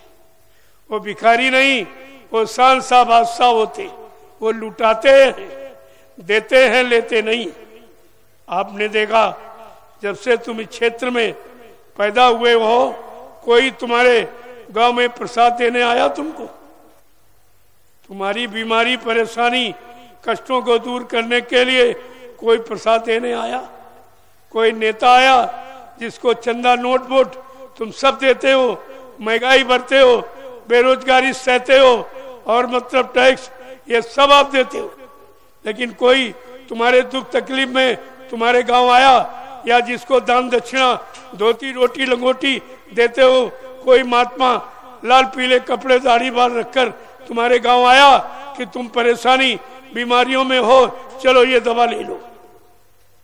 अगर कोई सच्ची पूजा की होती तो पूजा का लाभ होता।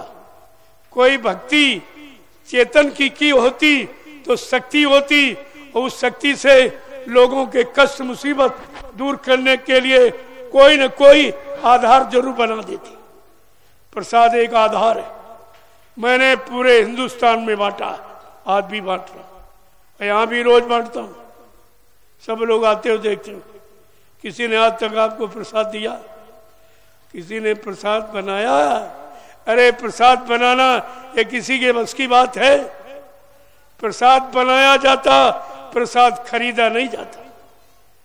ये पेड़ा बर्फ़ी बतासे चीनी फल फ्रूट खरीदे जाते। प्रसाद बनाया जाता। बनाएगा कौन? जिसने अपने सदगुरु को खुश कर लिया। उनके आदेश, हुक्म का पालन करके, उनके वचनों पर चलकर, जिसने अपने सदगुरु को खुश कर लिया, वो सदगुरु की दुआ दिया, किसी वस्तु में प्रवेश करके जीवों को लाभ दे सकता है। वो लाभ देने का अधिकारी। तुम्हारे किसी के पास नहीं। हिंदुस्तान में कोई ऐसा नहीं जो प्रसाद आपको दे बना के इस समय कोई नहीं। तभी लोग कहते हैं, प्रसाद खरीद के लिया वो नहीं बना सकते, खरीद के लिया और प्रसाद दुकानों पर कोई नहीं बनाता। वो तो बेचता। प्रसाद बेचा नहीं जाता, प्रसाद दिया जाता। प्रसाद लुटाया जाता। मैंने पूरे हिंदुस्तान में लाखों कुंटल प्रसाद मैंने दे दिया लोगों को। उसके बदले कुछ कोई चीज़ ये जगह जगह सबको दे रहा हूँ। हिंदुस्तान का कोई व्यक्ति, किसी मत का और किसी धर्म मज़हब का ये नहीं कह सकता कि हमारे साथ कोई मतभेद किया गया क्योंकि हमारा मानव इंसानी नाता है मेरा कोई जाति का, कोई अरम दरम कर्म का, कोई बाहर का रिश्ता, कोई शरीर का, कोई रंग रूप का, तुम्हारे रुपए पैसे, धन दौलत का, मेरा कोई रिश्ता नहीं है। मेरा रिश्ता है तुम्हारी जीवात्मा से, जो परमात्मा की। उससे मेरा रिश्ता है। कैसे जगेगी, कैसे कर्म उतरेंगे जो चढ़ गए तो तुम्हें तो मालूम नहीं किस तरीके से उतारा जाएगा। कैसे तुमको पाक साम निर्मल पवित्र किया जाएगा, तब तुम पाने के अधिकारी बनोगे।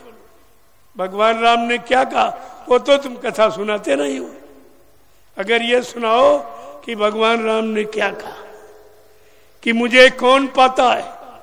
दान दक्षिणा देने वाला, मंदिर बनवाने वाला, गंगा नहाने वाला, तीरथ व्रत, हमन जब त्याग करने वाला? कहते नहीं, कौन पाता है? कि निर्मल मान जन सो मोही पावे। ओ मोहे छल छी कपट नहीं बावे। काम को न जाति वाला, न रूप वाला, न धन वाला, मुझे पता है जिसका मन निर्मल पाप साथ पवित्र। वो निर्मल मन जन वो मुझे पाते। और तुम्हारा तो सबका मन गंदा। मन की गंदगी धोने का तुम्हारे पास कोई उपाय, कोई साबुन तुमने बनाया नहीं। जो मन की गंदगी उतारोगे, जब तक मन की गंदगी उतरेगी नहीं, कुछ आपको मिलने वाला नहीं। ये बात क्यों नहीं बताती? क्योंकि तुम्हारे पास उसका उपाय नहीं। लोग पूछेंगे, भाई, आप बताए तो उपाय बताइए। उपाय तुमने कभी किया हो तो बताओगे। या करके लाभ प्राप्त किया हो तो तुम दूसरे को लाभ दे सकते हो। जब तुम्हें खुद ही नहीं मिला, तुम दूसरे को क्या दोगे? आगे गोस्वामी महाराज ने सारी शंकाओं का समाधान लिखा है कि भगवान का वास किसके हृदय में होता? ब्राह्मण के हृदय में, क्षत्रिय सर्जन कहते नहीं। मंदिर बनाने वाला मस्जिद कहते नहीं। गंगा नहाने वाला कहते नहीं। क्या लिखा?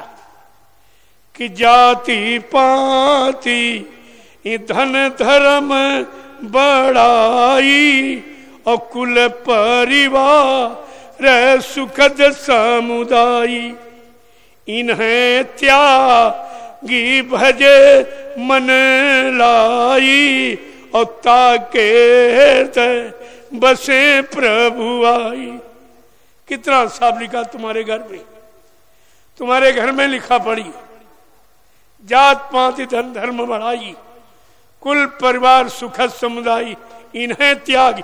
जो इतनों का परित्याग कर देगा, उसके हृदय में भगवान कह रहे, मेरा वास होगा और तुम्हारे यहाँ सबसे कठिन जाति अपमाना ये जात पात की खाई तुमने खड़ी कर दी।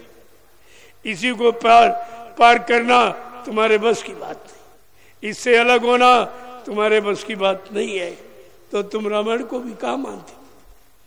रामायण को मानते हो, रामायण की नहीं मानते राम को मानते हो, राम की नहीं मानते हो? मंदिर को मानते हो, मंदिर की नहीं मानते हो?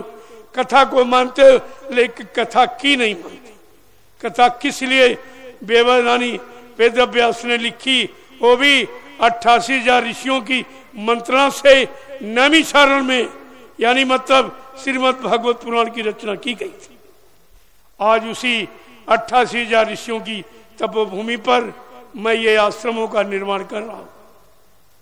ये भी नवी शरण जहाँ बैठे ये सब नवी शरण तीन आश्रमों का निर्माण कर दिया। अब आपसे कुछ मांगा नहीं। कोई बता दे, किसी से दान दक्षिणा रुपया पैसा सामान मैंने मांगा।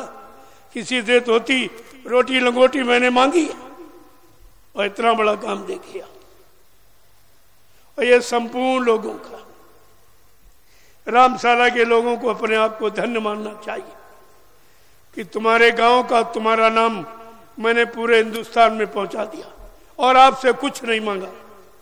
कुछ नहीं मांगा। तो कम से कम ऐसे पवित्र धार्मिक कार्य में आपको सहयोग करना चाहिए। देख तो लोगों ने ऐसे काम के लिए, आश्रमों के निर्माण के लिए, मंदिरों के निर्माण के लिए धर्म स्थलों के निर्माण के लिए लोगों ने दान दिया। और मैं पैसा दे के ज़मीन लेता हूँ। दान मान में नहीं लेता, पैसा दे के। अरे पैसा ले लो, अपनी इस ज़मीन को या अपने धर्म के काम में लगा दो। ज़मीन कहीं नहीं जाएगी, तुम्हारे गाँव में रहेगी, तुम्हारे काम आएगी तुम्हारे बाल बच्चे औलादों के काम आएगी, मैं क्या ज़मीन को उठा के ले जाऊँगा? मैं क्या ज़मीन ले जाऊँगा उठा? जो कुछ करूँगा सब तुम्हारे यहाँ तुम्हारे बाल बच्चों के लिए करूँगा, आगे आने वाली पीढ़ी के लिए करूँगा। ये ज़मीन की कोई उठा के ले जाने वाली चीज़ नहीं। फिर भी तुम्हारी समझ में नहीं आ रहा।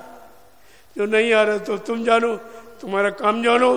दुनिया के लोग कहाँ कहाँ से बीस प्रांतों से लोग यहाँ कार्यक्रम में आते। वो लूट के ले जा रहे हैं और तुम चिराग के नीचे अंधेला बन के रह जाओगे ऐसे ही। लाभ तुमको मिलना चाहिए। सर्वप्रथम मैंने बरीता तुमको दी कि पहले इन लोगों को लाभ मिले। इनके यहाँ की भूमि पर मैं ये काम कर रहा हूँ। इनको पहले लाभ मिले। लेकिन जब तुम आँखें बंद किए हो, कानों को बंद किए हो न सुनते हो और न देखते हो और न करते हो तो फिर लाभ पाने के अधिकारी आप कैसे बनोगे? काम तो हो जाएगा, काम कोई नहीं रोक सकता।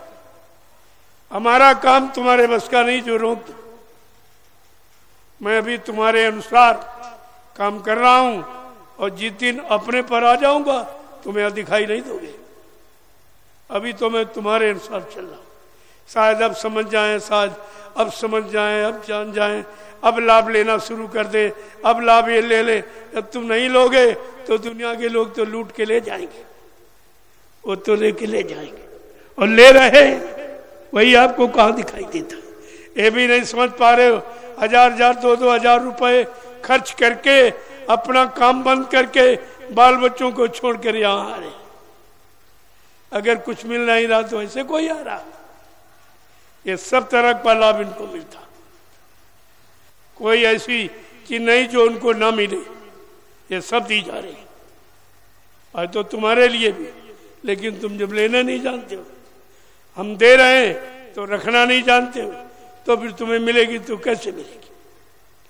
जय गुरुदेव। जय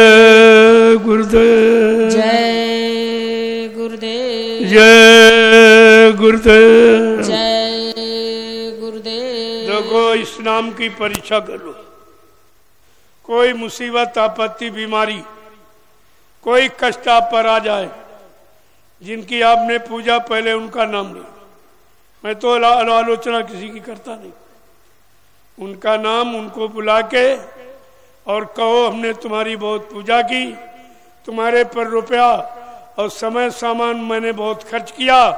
ऐसा करो, तुम हमारी बुद्धि को ठीक कर दो। हमारी बुद्धि को ठीक कर दो। हमारे मन की गंदगी को निकाल दो, इतना काम आप कर दीजिए। अगर वो न करें, इनकार कर दे कि मेरे बस का नहीं है तो आप जय गुरुदेव नाम लेके देखें। पहले सब नाम ले लो, ताकि आपको ये न रह जाए कि मैंने ये नाम नहीं लिया, ये नहीं। सब लेके देख लो। जब तुम्हारा ना काम कहीं से ना बने तो जय गुरुदेव नाम लेके देखो, मैं तो परीक्षा के लिए भी आपको मौका दे रहा हूँ, इस नाम की परीक्षा करके दे। जो काम कहीं से ना बने और जय गुरुदेव नाम से बन जाए तो मान लेना कि भाई हाँ भाई सच्चा है लेकिन मानोगे कब जब परहेज करोगे, जैसे डॉक्टर कहता, दवा तुम्हारी ठीक, लेकिन परहेज करोगे तो लाभ देगी। नहीं लाभ नहीं देगी।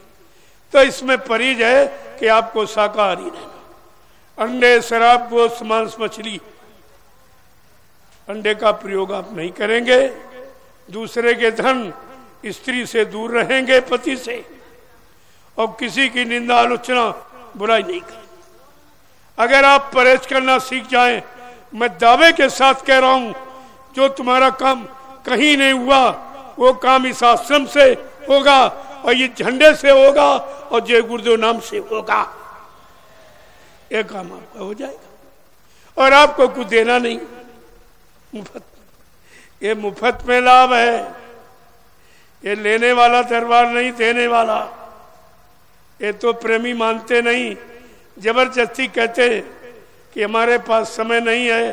बाल बच्चों को छोड़कर कैसे मैं यहाँ रोज आऊँ या रहूँ या इस प्रचार कार्य में शामिल हूँ?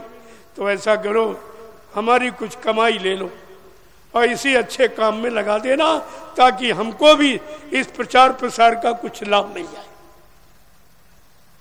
तो हमने कहा, भाई, ऐसी तुम्हारी कोई भावना है, कोई इच्छा है, कोई सेवा, श्रद्धा है तो मैं आपका ये दिया हुआ गाड़ी कमाई, यही नैमिसारण में सब लगा दूँगा। और लगी आपके सामने, ये आश्रम ज़मीन देख लो ये निर्माण कार्य, ये सब आपकी गाड़ी कमाई से हुआ, जो आपने हमको अपनी इच्छा से एक रुपया, दो रुपया, दस भी पचास, सौ, हज़ार जो भी दिए। सब इसी पे और बन के तैयार हुआ तो आपके लिए। मैं क्या करूँगा? मेरे तो कोई बीवी बच्चा है नहीं। मैं करूँगा। और जितना कुछ ये पेड़ा ये सब आपका है। मेरे नाम एक इंच ज़मीन भी नहीं। ये काम मैं नहीं करता। क्योंकि मैं कोई लेके तो नहीं जाऊँगा। काम करने का आदेश हुक्म मिला है, उसका पालन कर रहा हूँ और आप सबसे उस काम में लगने की प्रार्थना करता हूँ कि आप भी इसका लाभ उठा लीजिए। बाकी हमारा कोई समझ इससे कोई नहीं होता। मैंने पहला आश्रम आपके नैमिशारण में, जय गुरुदेव आध्यात्मिक आश्रम गुरुद्वारा, सदगुरुधाम नैमिशारण सीतापुर उत्तर बीस किलोमीटर पर ये दूसरा जहाँ बैठे हो। जय गुरुदेव आध्यात्मिक ज्ञान आश्रम ये भी आपकी गाड़ी कमाई से। ये गरीबों की एक एक रुपए दस दस रुपए से ये कार्य हो रहा। है मैंने किसी से एक रुपया भी न पहले कभी मांगा, न आज माँगता हूँ, न आगे भविष्य में मांगूँगा, क्योंकि हमारे गुरु ने मुझे भिखारी नहीं बनाया।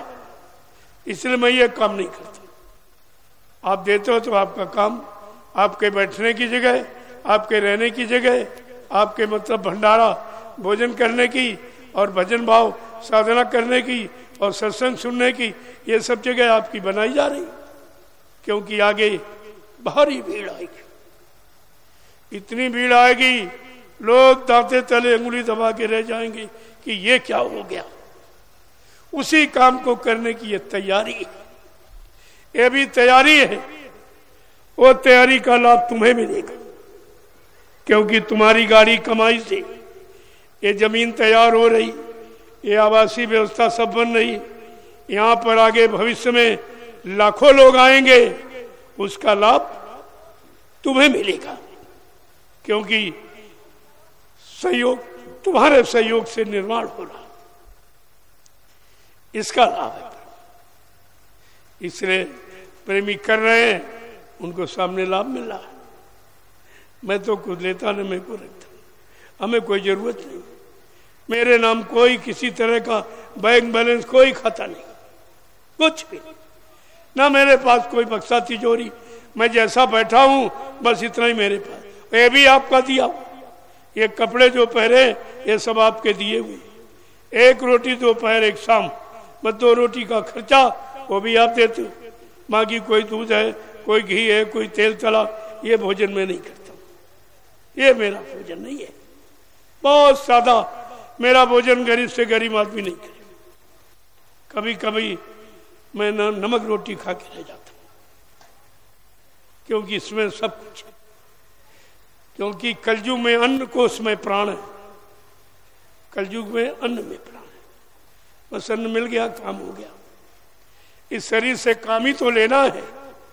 अगर रोटी से एक काम कर रहा तो बहुत सस्ता। इसको कुछ देना नहीं इधर उधर इसमें कुछ डालना ही नहीं, ताकि इसमें कोई विकार पैदा न हो। और विकार नहीं है, ये तुम कैसे जानोगे? तो एहसास करके, छू करके मतलब सुन करके, ये सब तुम्हें पता चल जाएगा। कितनी ठंडक है, कितनी शांति है, ये तुम्हें खुद ही पता चल जाएगा। दरस परस मुखमंजन पाना, दर्शन से, स्पर्श से, जूठन प्रसादी ले करके ये सब तरह से आपको जानकारी दी जा रही कि धोखा मत खा जाना, ये सब तुम्हारे सामने होगा हमारे यहाँ कोई पर्दा नहीं है। वैसे तो मर्यादा का पर्दा है, वैसे कोई मर्दा दिखावटी नहीं दिखावटी कोई पर्दा नहीं। मर्यादा के लिए तो पर्दा ज़रूर है। ये कपड़े भी आपने दे दिए, ये भी आपके दिए रोटी भी आपकी खाता हूँ और आपके काम में लगा हूँ जितनी जल्दी तुम्हारा काम हो जाए, ताकि मेरे पर कोई तुम्हारा दिया हुआ कर्जा न लग जाए।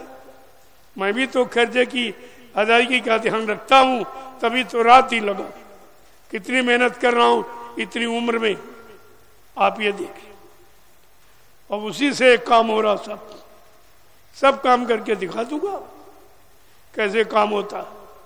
लेकिन आप लगे रहिए, ताकि आपको समय का लाभ मिलता रहे। किसी लाभ से, यानी जीव वंचित न रह जाए। प्रयास तो मेरा ये, कि हर तरफ़ का लाभ आपको मिल जाए और मतलब बहुत ही सादगी के साथ कुछ आपको करना नहीं, केवल पड़े रहो दरबार में, धक्का धनी के खाओ और कबहू दीन दयाल के भनक पड़ेगी काम तुम दरबार में पड़े रहना, तुम्हारा इसी से काम हो जाएगा। लेकिन शंका संदेह भूल भ्रम आ गया तो फिर नहीं तो फिर काम नहीं होगा। तो आज तो पहला दिन है। इसलिए सत्संग तो मैं कल से प्रारंभ करूँगा, क्योंकि अभी लोग भारी संख्या में आ रहे हैं। सब लोग आ जाए तो मतलब यानी सबको सत्संग मिल जाए।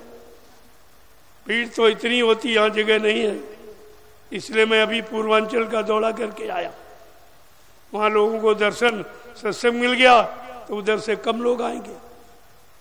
और इधर भी, पूरा अभी पीलीभीत में दिवाली कार्यक्रम के आया तो चार पाँच ज़िले वहाँ उनको दर्शन मिल गया और सत्संग मिल गया।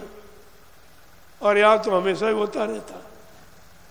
तो इसलिए, और ये तीन जगह कार्यक्रम तो गुणात्मक कार्यक्रम है ये, तीन जगह।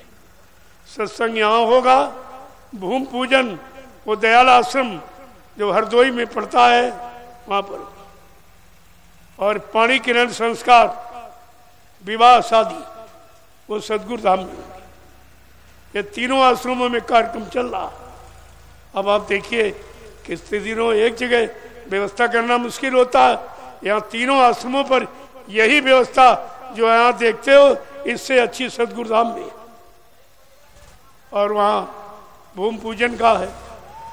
वो सत्ताईस तारीख गुरु नानक जयंती है।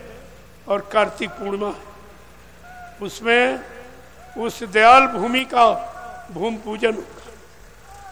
वो धरती को शुद्ध किया जाएगा। ताकि सदी उस धरती पर भी जीवों के हित का काम होने लगे। इसलिए पहले भूमि पूजन होगा। धरती माँ की पूजा। और यहाँ पर तो आध्यात्मिक सत्संग होगा। क्योंकि आध्यात्मिक ज्ञान आश्रम है। आध्यात्मिक ज्ञान पाने का यह स्थान है, इसलिए सत्संग यहाँ हुआ और सदगुरु धाम, वो पाणी किरण संस्कार। जहाँ से जीवन की शुरुआत होती है तो अनजान प्रेमी, यानी एक आश्रम में प्रवेश करने जा रहे, वो काम सदगुरुधाम से होगा। सत्ताईस तारीख को दो शादियाँ। संपन्न होंगी। लेकिन सत्संग यही।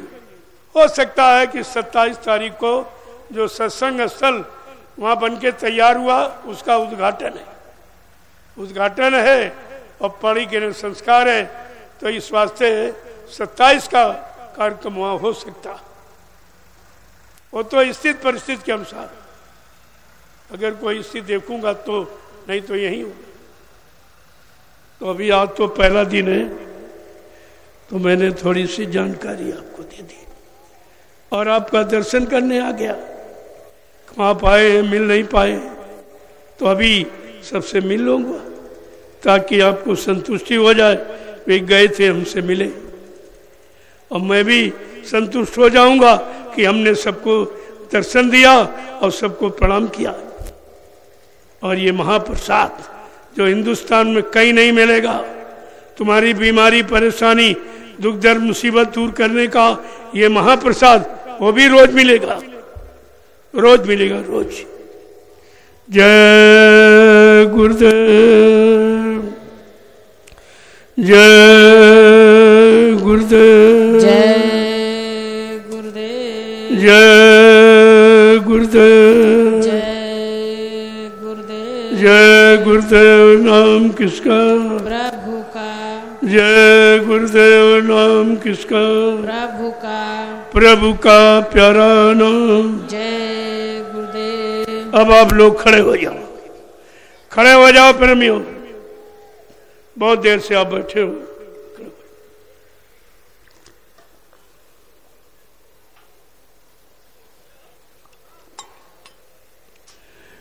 जय गुरुदेव। देखो यहाँ आए हो, कोई न कोई परमार्थी सेवा ज़रूर करो। जहाँ बता दी जाए, सुबह बता दी जाएगी। तो दिन भर आपको मौका दे दिया सेवा का, और ये शाम को सत्संग। कोई चीज़ आपकी छूटे ना, और सुबह शाम दोनों वक्त साधना। प्रभु प्राप्ति का रास्ता, जो नाम की कमाई आपको मिली है उसका अभ्यास करना। सुबह शाम मनुष्य मंदिर में बैठकर आत्मा के घाट पर परमात्मा का भजन, ये सच्ची साधना। ये मानव जीवन का की सच्ची पूजा है। सुबह शाम दोनों वक्त करो। अभी घंटा संग बजेगा, आप लोग साधना पर बैठ जाए। ये सब यहाँ सीख के जाओ। अपने अपने घरों में जितना समय ज़्यादा ज़्यादा दोगे, उतनी जल्दी ये प्रकट हो जाएगा। उतनी जल्दी ये लाभ तुम्हारे पास आ जाएगा। लेकिन शर्त यह है कि शाकाहारी हो जाओ। मन बुद्धि चित्त तभी रुकेगा जब पूर्ण शाकाहारी हो जाओ। अभी तो मोटा मोटा आपको बताया गया, शाकाहारी का क्षेत्रफल बहुत बड़ा है। अभी तो मुर्दे मांस से आपको अलग रहने के लिए कहा जा रहा है। लेकिन जब यह अभ्यास पूरा हो जाएगा, जो जिंदे मांस को से भी आपको छोड़ना पड़ेगा। वो भी मांस आहार ही है। आपसे शरीर को शरीर से लगाव बढ़ गया, इतना कि छोड़ नहीं पा रहे हो। शरीर भी तो मांस का लोथड़ा है तो मांस मांस से संबंध कर रहा ये भी मांसाहार है। जब आप मुर्दे मांस से हटना, छोड़ना सीख जाओगे तो जिंदे मांस का भी परित्याग कर दो। तब आपका पूर्ण शाकाहारी बनना शुरू हो जाएगा, वहीं से सच्चा लाभ प्राप्त हो जाएगा। जब तक ये दोनों तरफ़ का पूरा नहीं करोगे, तब तक पूरा लाभ नहीं मिलेगा, अधूरा लाभ मिलेगा तो धीरे धीरे धीरे सब आपसे करा लिया जाएगा।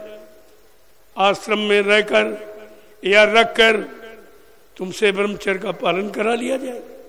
घर गृहस्थी में रह के तो आप नहीं कर सकते। तो थोड़ा दूर रहकर आश्रम में सत्संग भी सुनोगे, परमार्थी सेवा भी करोगे और विषय भोगों से दूर रहोगे।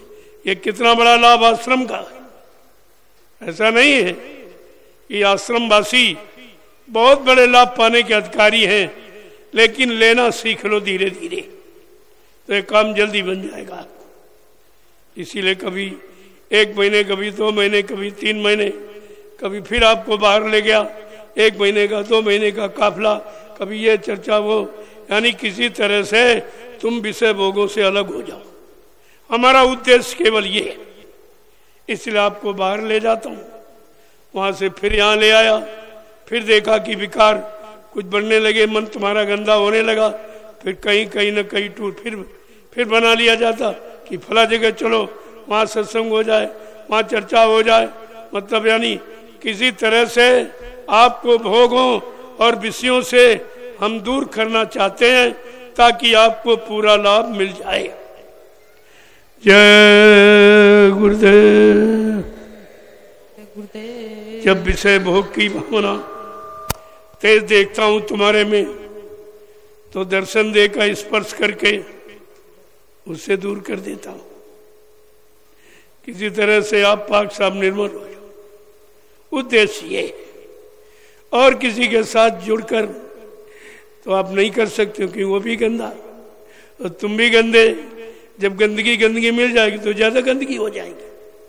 वहाँ से सुधार नहीं होगा। सुधार तो उनसे होगा जिन्होंने अपना सुधार कर लिया। वो तुम्हारा भी सुधार कर देंगे।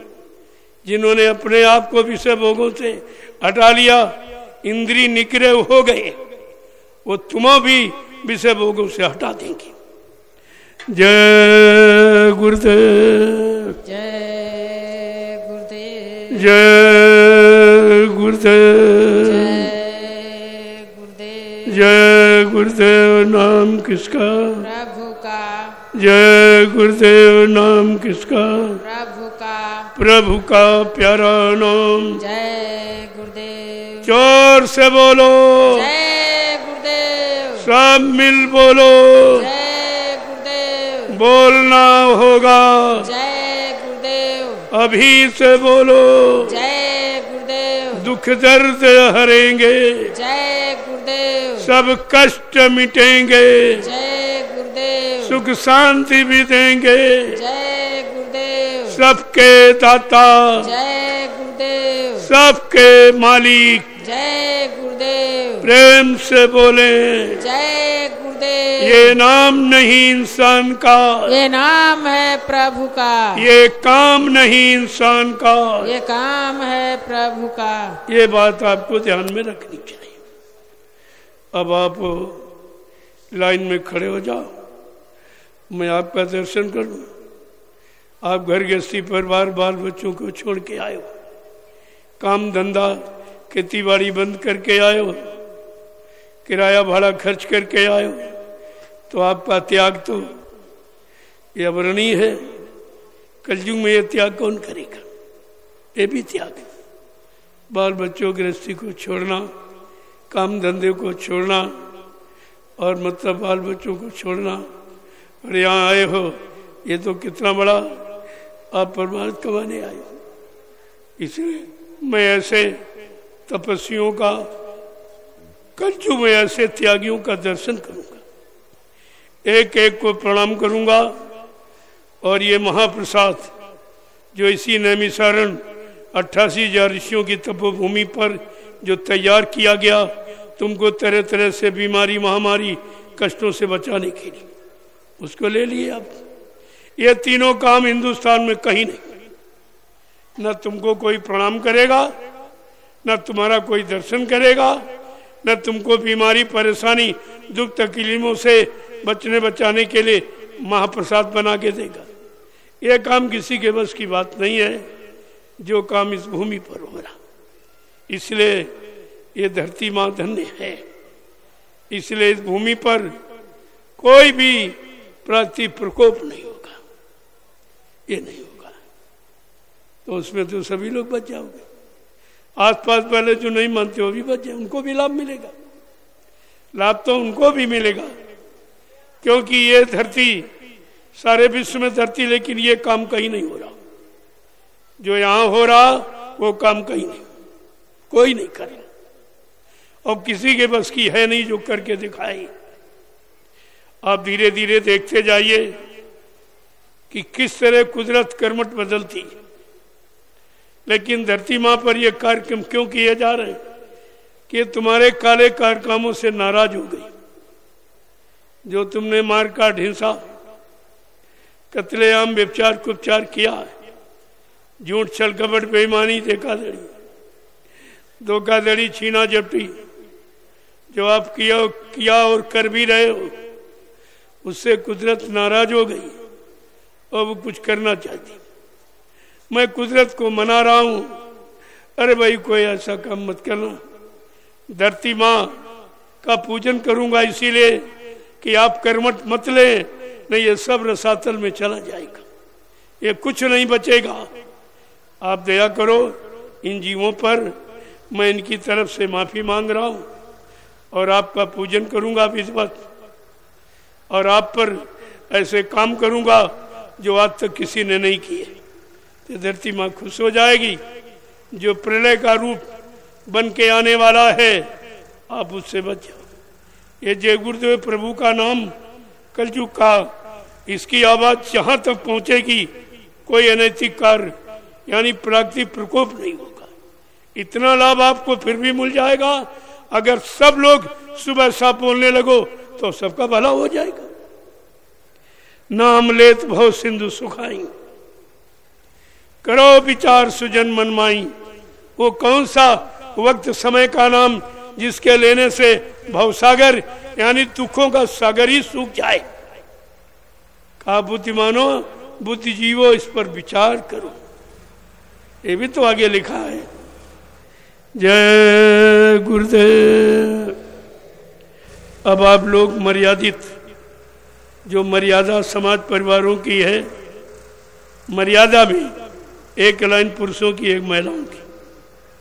आप बारी बारी से आओ मैं सबका विधिवत दर्शन कर लूँ आप सबको प्रणाम कर लूँ और ये दुख तकलीफों से बचने बचाने का ये प्रसाद रामदाना दे दूँ। जय गुरुदेव। जय गुरुदेव। देखो तुम्हारी मुसीबत दूर करने का दूसरा दूसरा उपाय ये झंडा। ये जय गुरुदेव प्रभु नाम का झंडा। ये प्रभु का झंडा है। कोई आरटी पार्टी का झंडा नहीं है प्रभु का। और प्रभु सबका रक्षक है। अब प्रभु का झंडा कहीं है नहीं। किसी ने नहीं गाड़ा प्रभु का झंडा। जिसने प्रभु नाम जगाया, सिद्ध किया, अरे वही तो प्रभु नाम से लाभ देगा। दूसरा कैसे दे देगा? तो आप इसका भी प्रयोग कर लें। तब तक आप इसकी परिक्रमा, यहाँ पाँच छह रोज रहोगे, सुबह शाम दोनों टाइम। जिसको भूत प्रेत बाधा ज़्यादा परेशान करती, वो दिन में भी कई बार परिक्रमा करें। जब परिक्रमा करोगे तो झंडा प्रभु का है, प्रभु से कहो कि आज से हम पूर्ण शाकाहारी रहेंगे। हमारे पर दया कर दीजिए। हमारा दुख, हमारा तकलीफ़, हमारी बीमारी, हमारे कष्ट दूर कर दी। जब शाकाहारी बनने का वादा करोगे, वो प्रभु आप पर दया कर देगा और काम आपका शुरू होने लगेगा। जय गुरुदेव। जय